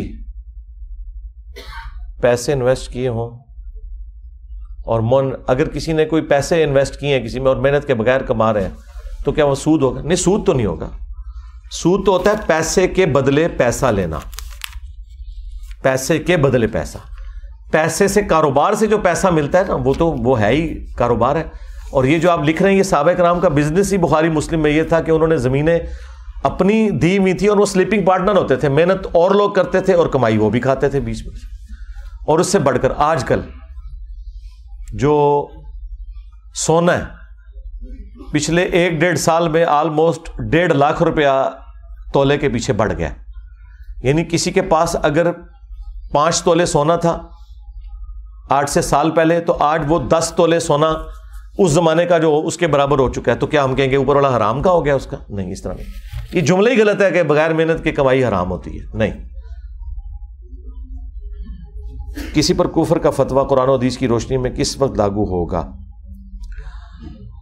इंसान काफिर कब होता है? आप यूट्यूब पर जाके लिखें तो मैंने पूरा तफसीली गुफ्तु इसके ऊपर की है। हाँ हमारे मुसलमानों में जो है इंसान काफिर उसी दिन हो जाता है जिस दिन वो फिरका छोड़ देता है। हाँ, हाँ। इस्लाम के नज़दीक काफिर आप तब होते हैं जब आप अल्लाह रसूल ख़त्म नबूत आखरत का इनकार कर दें। बाकी सारी चीज़ें फिर बाद में आती हैं। और ज़ुरियात दीन में से यानी नमाज़ रोज़ा हज ज़क़़त में से किसी का इनकार कर दें तो। आदीस की रोशनी में वाजे करें कि नबी इस्लाम अपने सर के बाल किस तरह तराशते थे। उस ज़माने में, यानी ये उस्तरे वगैरह ब्लेड अवेलेबल होते थे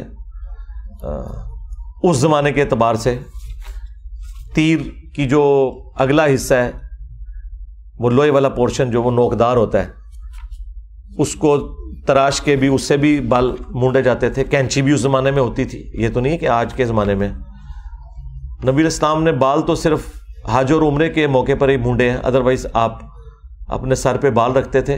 बुखारी मुस्लिम में आया कि कभी आपके बाल मुबारक कंधे तक छू जाते थे और इससे ज़्यादा नीचे नहीं आप रख सकते। कभी ये कान की लो तक, कभी आधे कान तक। बस इससे ऊपर आप बाल नहीं रखते थे। शादी के बाद वालदेन से अलादा रहना हदीस से वाजे करें। मैंने तो बताया, हदीस में तो सास ससुर का कोई कॉन्सेप्ट ही नहीं मेरे भाई। आप साबित करें कि वालदेन के साथ रहते थे। हाँ। ये सिर्फ़ जायज़ है। तो अलीदगी खुद ब खुद हो जाती थी। लेकिन लड़के ने माँ बाप का हक पूरा करना है। अपनी बीवी के ज़रिए से नहीं, खुद करना है। बीवी कर दे तो बहुत अच्छी बात है। बीवी आपकी बड़ी नेक है अगर ये कर रही है तो। जाकिर नाइक की तरह बच्चों की बुनियादी तालीम के लिए स्कूल बनाना। मेरे भाई डॉक्टर जाकिर नाइक ने स्कूल इसलिए बना लिया है कि उसने करोड़ों रुपया चंदा लिया है लोगों से। मैं अपनी इज़्ज़त नफ्स ख़राब नहीं कर सकता ये करके, क्योंकि मैंने वो काम किया जो जाकिर नाइक ने नहीं किया। और यही वजह कि जाकिर नाइक के खिलाफ कोई हंगामा नहीं है। वो एक जदीद के मसले पे थोड़ा सा बरेलवियों ने, शिया ने उठाया। कभी अलदीस ने उसकी किसी ब्लंडर को कभी आइडेंटिफाई नहीं किया कि उसके खिलाफ हंगामा खड़ा किया हो, कोई एफ़ आई आर कटवाई हो, कुछ भी नहीं। तो इससे अंदाज़ा करें कि वो तो यानी एज सच उसे वो तकलीफें नहीं काटनी पड़ रही हैं जो हमें काटनी पड़ रही हैं, क्योंकि हमने फिरकों को हार डाला है ना। उसका तो ज़्यादा मामला गैर मुस्लिमों के साथ है, उधर तो सारे सारे फिरके हैप्पी हैप्पी हैं कि बहुत अच्छा है। इसीलिए वो फिर इनकी तरफ़ भी नहीं आया, ना उसकी कॉम्पिटेंसी थी। तो बाकी जो उसे ये काम करना पड़ा तो वो चंदे लेके किया तो मैं तो नहीं कर सकता। मैंने अगर ये काम चंदों से शुरू किया तो मेरी तो पूरी दावत तो मैं इस दावत की कॉस्ट के ऊपर ये नहीं कर सकता। वो कर रहे हैं, उन्हीं को हम सपोर्ट करते हैं, अच्छी बात है। अलुदा इंटरनेशनल वाले कर रहे हैं, जमात इस्लामी वाले दार अरकम स्कूल चला रहे हैं हम उन्हें सपोर्ट करते हैं। जैसे जाकिर नाइक जगह जगह जाकर तबलीग करते हैं, आप जेलम से बाहर नहीं निकलते। मैं तो दुनिया में हर जगह मौजूद हूँ, अल्लाह के फजल से। मुझे बताएँ कौन सी जगह जाकिर नाइक को तो सिर्फ़ चंद एक पढ़े लिखे तबके के लोग सुनते हैं। दुनिया की हर मस्जिद, हर फिरके, हर मदरसे का मसला तो मैं हूँ, जाकिर नाइक तो नहीं है। हाँ। तो मैं तो पहुँचा हूँ मेरे भाई, जाएँ। कोई मदरसा बताएँ, वहाँ से वी लॉग बनाएँ कि मैं इस मदरसे में खड़ा हूँ, यहाँ कोई अली भाई को नहीं जानता। तो ऐसा है ही नहीं है। बाकी वो फिजिकली जाने की ज़रूरत नहीं अब उन्होंने भी टूर ऑलमोस्ट खत्म कर दिए, कोई नहीं जाते। वीडियोस के ज़रिए होता है। जाने की ज़रूरत नहीं ना। क्या दो या तीन मर्द एक मोटर बाइक पर बैठ सकते हैं इकट्ठे? लियास कादरी साहब के नज़दीक ये नजायज़ है। देखें लियास कादरी साहब ने जो बात की है, वो अपनी जगह दुरुस्त है। मैं उसको कंडेम नहीं करता। अगर वो वाला मामला हो तो बिल्कुल गलत है, हराम है। लेकिन हर एक बंदे को इसके साथ लेट कर देना, ये भी गलत बात है। क्या ईमान की कमज़ोरी है कि कोई शख्स आपके सामने गलत काम करे? नमाज़, सुन्नत के मुताबिक ना पढ़े, लेकिन जानबूझ के आप उसकी सलाह ना करें। ईमान की कमज़ोरी नहीं है। कमज़ोरी उस सूरत में है जब वो आपसे मुतल आदमी है, आपका रिश्तेदार है, आपका करीबी है, तब भी आप उसे ना बताएँ तो फिर तो आप कोई और बात नहीं रहनी चाहिए। तो बाकी मौलवियों की इसलाह की कोशिश ना करें, ये बियॉन्ड रिपेयर है। छोड़ दें। क्या मोटापा गुना है? मोटापा गुना तो नहीं है, लेकिन सेहत का ख्याल ना रखना, ये भी तो अल्लाह ताला की नाशुक्री है। तो मोटापे को पसंद नहीं किया गया। नबी इस्लाम तो मोटापे को पसंद नहीं करते थे। कुर्ब क़्यामत की जो बुखारी मुस्लिम में एक निशानी, वो ये भी बताई गई है कि लोग मोटापे को पसंद करेंगे। तो इसे नेगेटिव चीज़ के तौर पर। ज़ाहिर मोटे बंदे की क्या ज़िंदगी है ना? ना वो बैठ के वज़ू सही तरीके से कर सकता है, ना वो गैर ज़रूरी बाल सही तरीके से काट सकता है। अजाब बनी होती है उसकी ज़िंदगी उसके लिए। मोटे बंदे का क्या काम है? बरेलवी मस्जिद में आमीन कहने पर रोका जाता है, बाकायदा नोटिस बोर्ड लगा दिया गया। जी, उस नोटिस बोर्ड की आप पिक्चर खींचें और उसके साथ आप हदीस अटैच करें और जाके करीबी थाने में एप्लीकेशन दे दें। कि ये हमें जो है सुनत के मुताबिक अमल करने से रोक रहे हैं और साथ लिखें कि कल अगर सऊदी हुकूमत ने वहाँ नोटिस लगा दिया कि जिसने ऊँची आमीन ना की, उसे हाज उम्रे के लिए नहीं आने दिया जाएगा। और आपको हाज उम्रे के फॉर्म में ये भरवाया जाए कि मैं रफुलदैन करूँगा, मैं ऊँची अमीन कहूँगा तो आपको वहाँ पे हाज उम्रे का वो वीज़ा इशू करें। और आप हल्फिया लिखें, जिस तरह यहाँ लिखा होता है, मैं हल्फिया कहता हूँ कि मैं गुलामत का दियानी को दजाल समझता हूँ और मैं ख़त्म नबूत पर ईमान रखता हूँ। तो अगर ये कुछ सऊदी अरब शुरू कर दे और उस हलफनामे में ये ऐड कर ले कि मैं इमाम काबा के पीछे सुन्नत तरीके पे ही नमाज़ पढ़ूँगा तो ये फिर मुझे बताएँ, आप लोग हाज उम्रे के लिए जा सकते हैं तो ये हरकतें छोड़ दें। इस तरह आप पाकिस्तान के आयन में किसी को रोक नहीं सकते। अब बहुत ऊँची अमीन जो शरारत वाली है, वो ना आपके बीवी का नानो नफका क्या है? खाना पीना, कपड़े मेकअप वगैरह। जी, मेकअप भी उसमें आता ही है, लेकिन बहुत महँगा ना हो, मत जो आप शादी से पहले जो आपका स्टेटस था उसके मुताबिक करें। ये भी ज़ाहिर है कि आता है ना, ज़ाहिर है। कपड़े के अंदर ही दाखिल है ना। क्या इसके अलावा, क्या इसके अलावा भी माना खर्चा? जी, माना खर्चा आपको इसलिए देना होगा बाज़ात उसका कोई चीज़ खाने को दिल कर रहे हैं और आप बाहर हैं कोई छली वाला आ गया, उसने छली खरीदनी है तो क्या करें? तो माना खर्च तो थोड़ा बहुत लगाए ना उसका, कि एटलीस्ट अपनी मर्ज़ी की चीज़ वो ख़रीद सके। एक बंदे की घर की आमदनी एक लाख रुपए है। घर में एक छोटा भाई, बीवी, बच्चा अबू है। मैं अपने माल की तकसीम कैसे करूँ? बीवी को महाना कितना दूँ? अबू को कितना दूँ? क्या सारी तनख्वाह अबू को दूँ या बीवी को दूँ? हाँ जी। आप जो सारी तनख्वाह जो है ना, वो बेहतर तो है कि अपने पास रखें झगड़े से बचने के लिए, या इसके बाद जो ऑप्शन है वो बीवी को हैं बीवी के ऊपर अतमाद करें। आपका वो साथी है और मिलजुल के सारे मामला लेके चलें। बाकी अबू का कितना खर्चा होगा? कोई उन्होंने कोई इजी लोड करवाना होगा, कोई अपने मोबाइल के लिए कभी? या किसी के अबू सिगरेट पीते होंगे, किसी के अबू पान खाते होंगे, कोई बाहर जाके कोई गोलगप्पे खा लेते होंगे, किसी दोस्त के साथ दूध पत्ती पी लेते होंगे तो माना उनका कितना खर्चा है, वो उनको लादा से दें। उनकी इज़्ज़त नफ्स तो पमाल ना ना करें आप। घर के खर्चे में उनका कोई लेन देन नहीं, घर का खर्चा बीवी के हाथ में। मियाँ बीवी एक दूसरे के लिबास हैं मतलब हर राज एक दूसरे से शेयर करना ज़रूरी है। क्या मर्द के सदका जो जो छुप कर करता है वो भी बताना ज़रूरी है। अगर बीवी इसरार करे कि कहाँ सदका करते हो? देखें अगर आपको ख़तरा है कि वो आपको रोकेगी इस काम से फिर तो आप उसको ना बताएँ। और अगर ये ख़तरा नहीं तो आप ज़रूर बताएँ। बाकी होता है बाज़ का तो औरतें रोकती हैं मतलब ख़र्चा करने से। लेकिन ये ना हो कि आप कहीं को छुपी दोस्ती और निभा रहे हो को पैरल में कोई काम शुरू किया है हाँ, ये भी नहीं करना। मस्जिद में बच्चों के लिए बॉक्सिंग कुश्ती वगैरह की एक्टिविटी जायज़ है? हाँ जायज़ है। मस्जिद के अंदर कोई एक लादा से एक ग्राउंड होनी चाहिए। नबी इस्लाम के ज़माने में ये वाली मस्जिदें तो नहीं थी ना, वो ग्राउंड वाला पोर्शन भी होता है जिस तरह आजकल अटैच मदरसा है। तो उसमें ये सारे तमाम होने चाहिए। अच्छी बात है। मस्जिद के अंदर ज़ाहिर है, उस बिल्डिंग में वो जो जहाँ आप नमाज़ पढ़ रहे हैं, वहाँ तो नहीं होगा ना। उससे हट के ही वो जो बार उसका सेन है, उसमें आप कर सकते हैं तमाम। ज़रूर करें।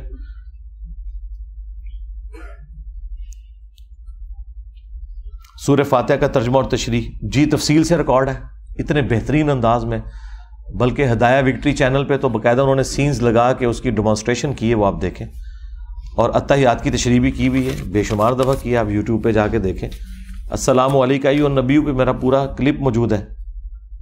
जो लोग गैर कानूनी तरीके पर बैरून मुल्क जाते हैं, उनकी कमाई हलाल है। कमाई को तो हम आराम नहीं कह सकते। अगर वहाँ पर जाके कोई हलाल काम कर रहे हैं हाँ ये एक्टिविटी जो है गैर कानूनी ये आप गलत कह सकते हैं। पूरी कमाई हराम नहीं होगी। लेकिन ये भी याद रखिएगा, ये जो समुद्र पार करते हुए मारे जाते हैं और इस तरीके से ये ये तो मतलब जानबूझ के खुदकुशी कर रहे हैं ना।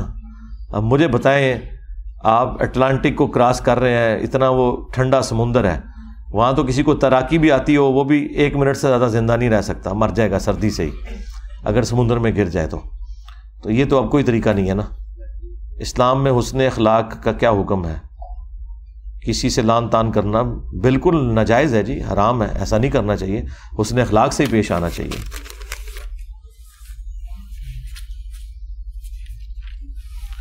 औलिया अल्लाह कौन है? वाज फरमा दे। हर फिरके के अपने औलिया अल्लाह डिफरेंट है। कुरान में तो आया कि जो अल्लाह रसूल आखरत के मानने वाले हैं, वो तमाम ही औलिया अल्लाह है। तमाम मुसलमान अल्लाह के औलिया हैं। और काफिर जो है, शयातीन के औलिया हैं। ये सूर्य बकरा में वाज लिखा हुआ है। क्या औरत टूटे हुए बालों को जला सकती है? हाँ जला सकती है, कोई हर्ज नहीं इसके अंदर। टूणे ना करें बस। जला सकती है, दफना सकती है, फेंक सकती है। क्या कराची में आने वाले सलाब और तूफ़ान अब्दुल्ला शाह गाजी के दरबार की वजह से रुक गया? इसका जवाब मैंने पहले दे दिया।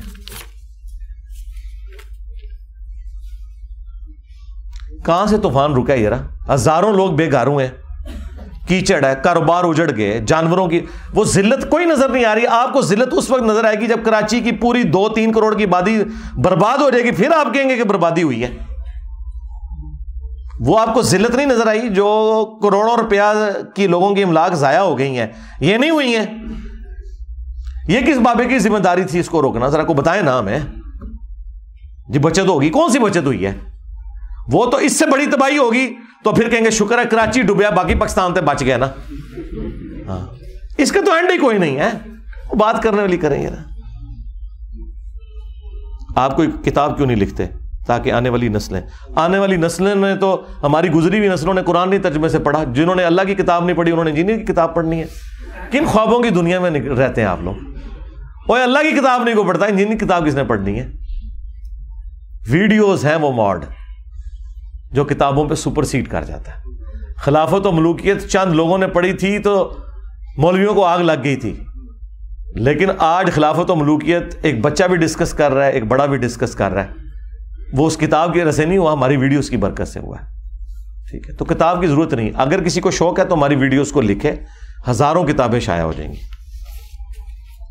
कुर्बानी का गोश्त तीन हिस्सों में तकसीम करना लाजिम है प्रेफरेबल है, लाजिम कोई नहीं है, सबका इतफाक है इस पर सूर्य हज में मौजूद है, खुद भी खाओ, गरीबों को खिलाओ, रिश्तेदारों को खिलाओ। बेहतर है कि आप करें। मेरी आँख में जख्म हो गया, मेरी वालदा ने कहा कि दरबार पर जाओ, सलाम।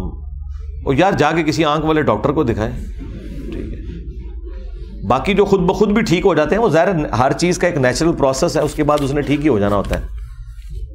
यंग एज में लोगों को चेहरे के ऊपर दाने निकलते हैं, फिर वो जाके वो झाड़ू चढ़ाते हैं, वो अब ना भी चढ़ाएँ, उन्होंने उतर ही जाना होता है, अपने वक्त के ऊपर, उसके ऊपर ये मामला हो जाता है, ऐसा कोई मसला नहीं है।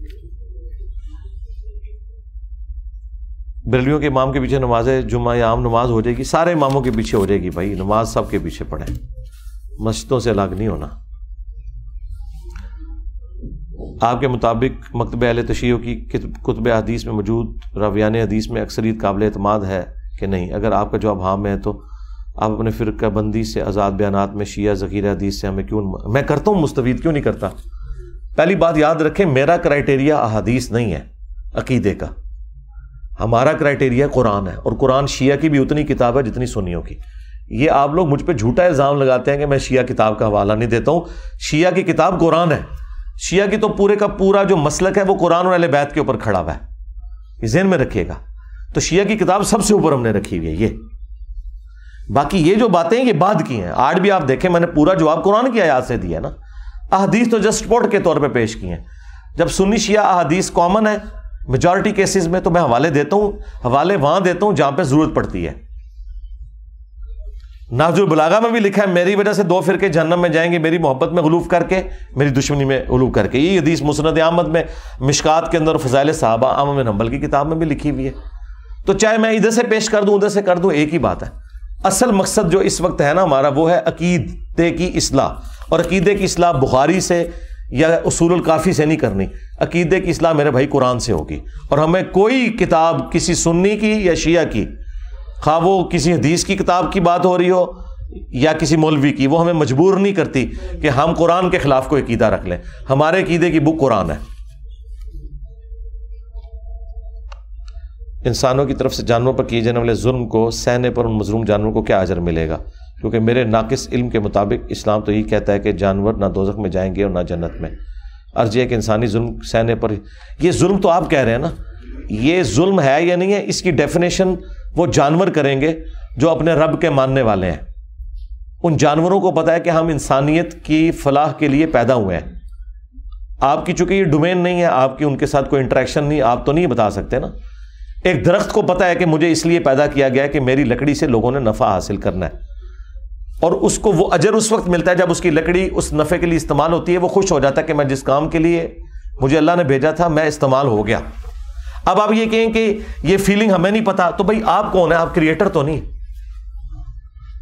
आपको एतमाद में लेना तो कोई ज़रूरी नहीं है। शुक्र है आपने ये नहीं लिख दिया कि अली भाई, अल्लाह ताला से बात करके एक दफ़ा प्रेगनेंसी की तकलीफ़ से बाप को गुजारे और एक दफ़ा माँ से। ये हो सकता है मुझे बताएँ भाई, अल्लाह ताला ने डेस्टनी मुकर किया है कि मर्द ने मीशत की तकलीफ़ उठानी है और औरत ने प्रेगनेंसी की। आपके नज़दीक तो हो सकता है इंसाफ ये भी हो कि एक दफ़ा औरत प्रेग्नेंट हो और अगली दफ़ा मर्द प्रेग्नेंट हो। हाँ हाँ। और क्या है? तो इस तरह नहीं हो सकता। ये विल ऑफ़ गॉड है। ला युस अम्मा वहम युस अलून मैंने तो फिर भी थोड़ा जवाब दिया, कुरान तो कहता है, अल्लाह को कोई नहीं पूछ सकता, उसने ये क्यों किया? अल्लाह सबको पूछ सकता है। बाकी मुस्लिम में एक हदीस है कि अगर एक सींग वाली बकरी ने बगैर सींग वाली को मारा, क्यामत के दिन उसे बदला दिलवाया जाएगा, बस। बाकी जन्नत इनके लिए नहीं बनी हुई है। ये इंसान के लिए बनाए गए हैं और इनका मकसद पूरा हो गया। आपको जानवरों का तो ख्याल आ गया है। आपको बेजान चीज़ों का ख्याल नहीं आया? उन ईंटों का, उन पत्थरों का, सीमेंट का सरिये का कि जो जिस घर में आप रहे हैं, उसका तो आपको कोई ख्याल नहीं आया वो भी तो अल्लाह की मखलूक है। वो इंसान के लिए बनी है। उधर आपका दिमाग नहीं जाता कि यार ये ईंट, मट्टी, बजरी, सरिया, ये चीज़ें भी तो इंसान के लिए इस्तेमाल हो रही हैं। इनको भी जन्नत में जाना चाहिए। आप कहेंगे, इनमें जान नहीं है। लेकिन वो आपकी नज़र में जान नहीं है ना। फीलिंग तो हर चीज़ की है। कुरान में है कि कोई एक चीज़ भी ऐसी नहीं है जो अल्लाह की हमद के साथ तस्बीह ना करती हो, लेकिन तुम उनकी तस्बीहात को समझ नहीं सकते। हाँ बुहारी में हदीस अब्दुल्ला इब्न मसूद कहते हैं मजूर के साथ जब खाना खाते थे, हमने कई बार नवाले से अल्लाह की तस्बीह की आवाज़ सुनी है। बुहारी मुस्लिम में आया कि वो एक दरख्त जिसके साथ नबी इस्लाम टेक लगा के खुतबा देते थे, जब आपके लिए मिंबर तैयार किया गया तो वो चीखे मार के रोने लग पड़ा। फिर हजूर मिंबर से उतरे, उसको आके तसली दी तो जिस तरह ऊँट का बच्चा एक सिस्कियाँ लेते हुए खामोश हो जाता है, वो खामोश हो गया। अब वो तो लकड़ी का एक ज़िंदा दरख्त नहीं था, मुर्दा था, तना था, उसकी भी फीलिंग है। तो फीलिंग तो हर चीज़ की है। कुरान में अल्लाह ताला फरमाते हैं कि अल्लाह को हर रोज कोई ना कोई काम है। फिर अल्लाह फरमाता है कि सूर्य वाक्य में कि अल्लाह चाहता तुम्हें ऐसी जगह पैदा कर देता है जहाँ कोई इल्म नहीं। तो अल्लाह को हर रोज क्या काम? कुल यौमिन हुआ फ़ी शानिन। ये तर्जमा ज़रा आपसे मिस हैंडल हो गया। ये आसान फहम तर्जमा करके बयान किया कुल्ला यौमिन हुआ फ़ी शानिन। हर रोज़ अल्लाह ताला किसी न किसी शान के ज़रिए ज़ाहिर होता है लोगों पे। इसको यूँ करें तर्जमे को। काम भी ज़ाहिर है। अल्लाह ताला हर काम अल्लाह ही उसकी तदबीर फरमाता है। और ज़ाहिर रोज़ाना नए काम ही होते हैं। जो कल काम हो चुके आज के दिन नए काम, बल्कि हर लम्हे में नया काम हो रहा होता है। दुनिया में जितने भी प्लैनेट्स के साथ मामला चल रहे हैं, वो सारे के सारे नए मामला हो रहे हैं, हर रोज। इवन आपको मैं हैरान कन बात बताऊँ, ये जो सितारे आप रात को आसमान पे देखते हैं, आपको पता है ये अरबों साल पहले खत्म हो चुके हुए हैं। जो आज आप देख रहे हैं, ये खत्म हो चुके हुए हैं। चूँकि रोशनी अब ज़मीन पे इनकी पहुँच रही है ना, इसकी वजह से आपको ये भी दिखाई दे रहे हैं। इनको खत्म हुए भी अरबों साल गुजर चुके हैं और इनकी जगह नए तारे आ चुके हैं। और जो नए तारे वो हमें नज़र नहीं आते। क्योंकि रोशनी की भी बहरल एक स्पीड तो है, अगरचे बहुत स्पीड है। तीन लाख किलोमीटर एक सेकंड में।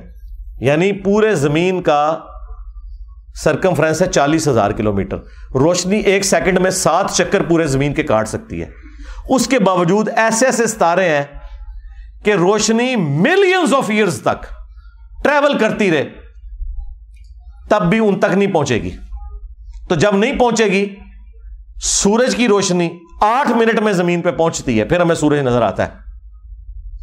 तो जिन सितारों की रोशनी आठ लाख साल में, आठ करोड़ साल में, आठ अरब साल में ज़मीन पे पहुंचेगी,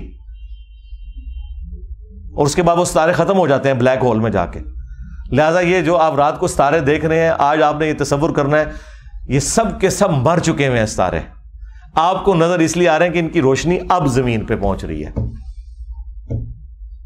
आप फिर अल्लाह की कुदरत का अंदाज़ा करें, वो ब्लैक होल वाली मेरी वीडियो देख लें तो आपको अंदाज़ा हो जाएगा। लो जी, आपका पूरा थद्दा मैंने खत्म कर दिया, ये देख लें। कोई एक पर्ची ऐसी नहीं है जो मेरे पास आई हो और मैंने उसे पढ़ के उसका जवाब ना दिया हो। किसी की भी पर्ची ऐसी नहीं है। अगर किसी की पर्ची है और वो टाइम पे आया था तो मुझे बताए, और मैंने पर्ची ना पढ़ी हो तो मुझे वो हाथ खड़ा करे कि उसकी पर्ची मैंने नहीं पढ़ी। रह गया तफसीरी जो बात, वो वीडियो उसके अंदर है, मैंने रेफ़र कर दी है।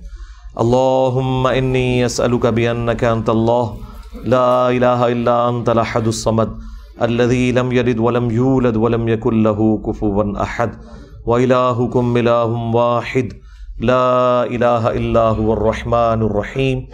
हुवर रहमानुर रहीम अलिफ लाम मीम अल्लाह ला इलाहा इल्ला हुवल हय्युल क़य्यूम अल्लाहुम्म सल्लि अला मुहम्मद व अला आलि मुहम्मद अल्लाहुम्म रब्बना आतिना फिद दुनिया हसनह व फिल आखिरति हसनतम व क़िना अज़ाबन नार रब्बना आतिना मिन लदुनका रहमा व हय्यि लना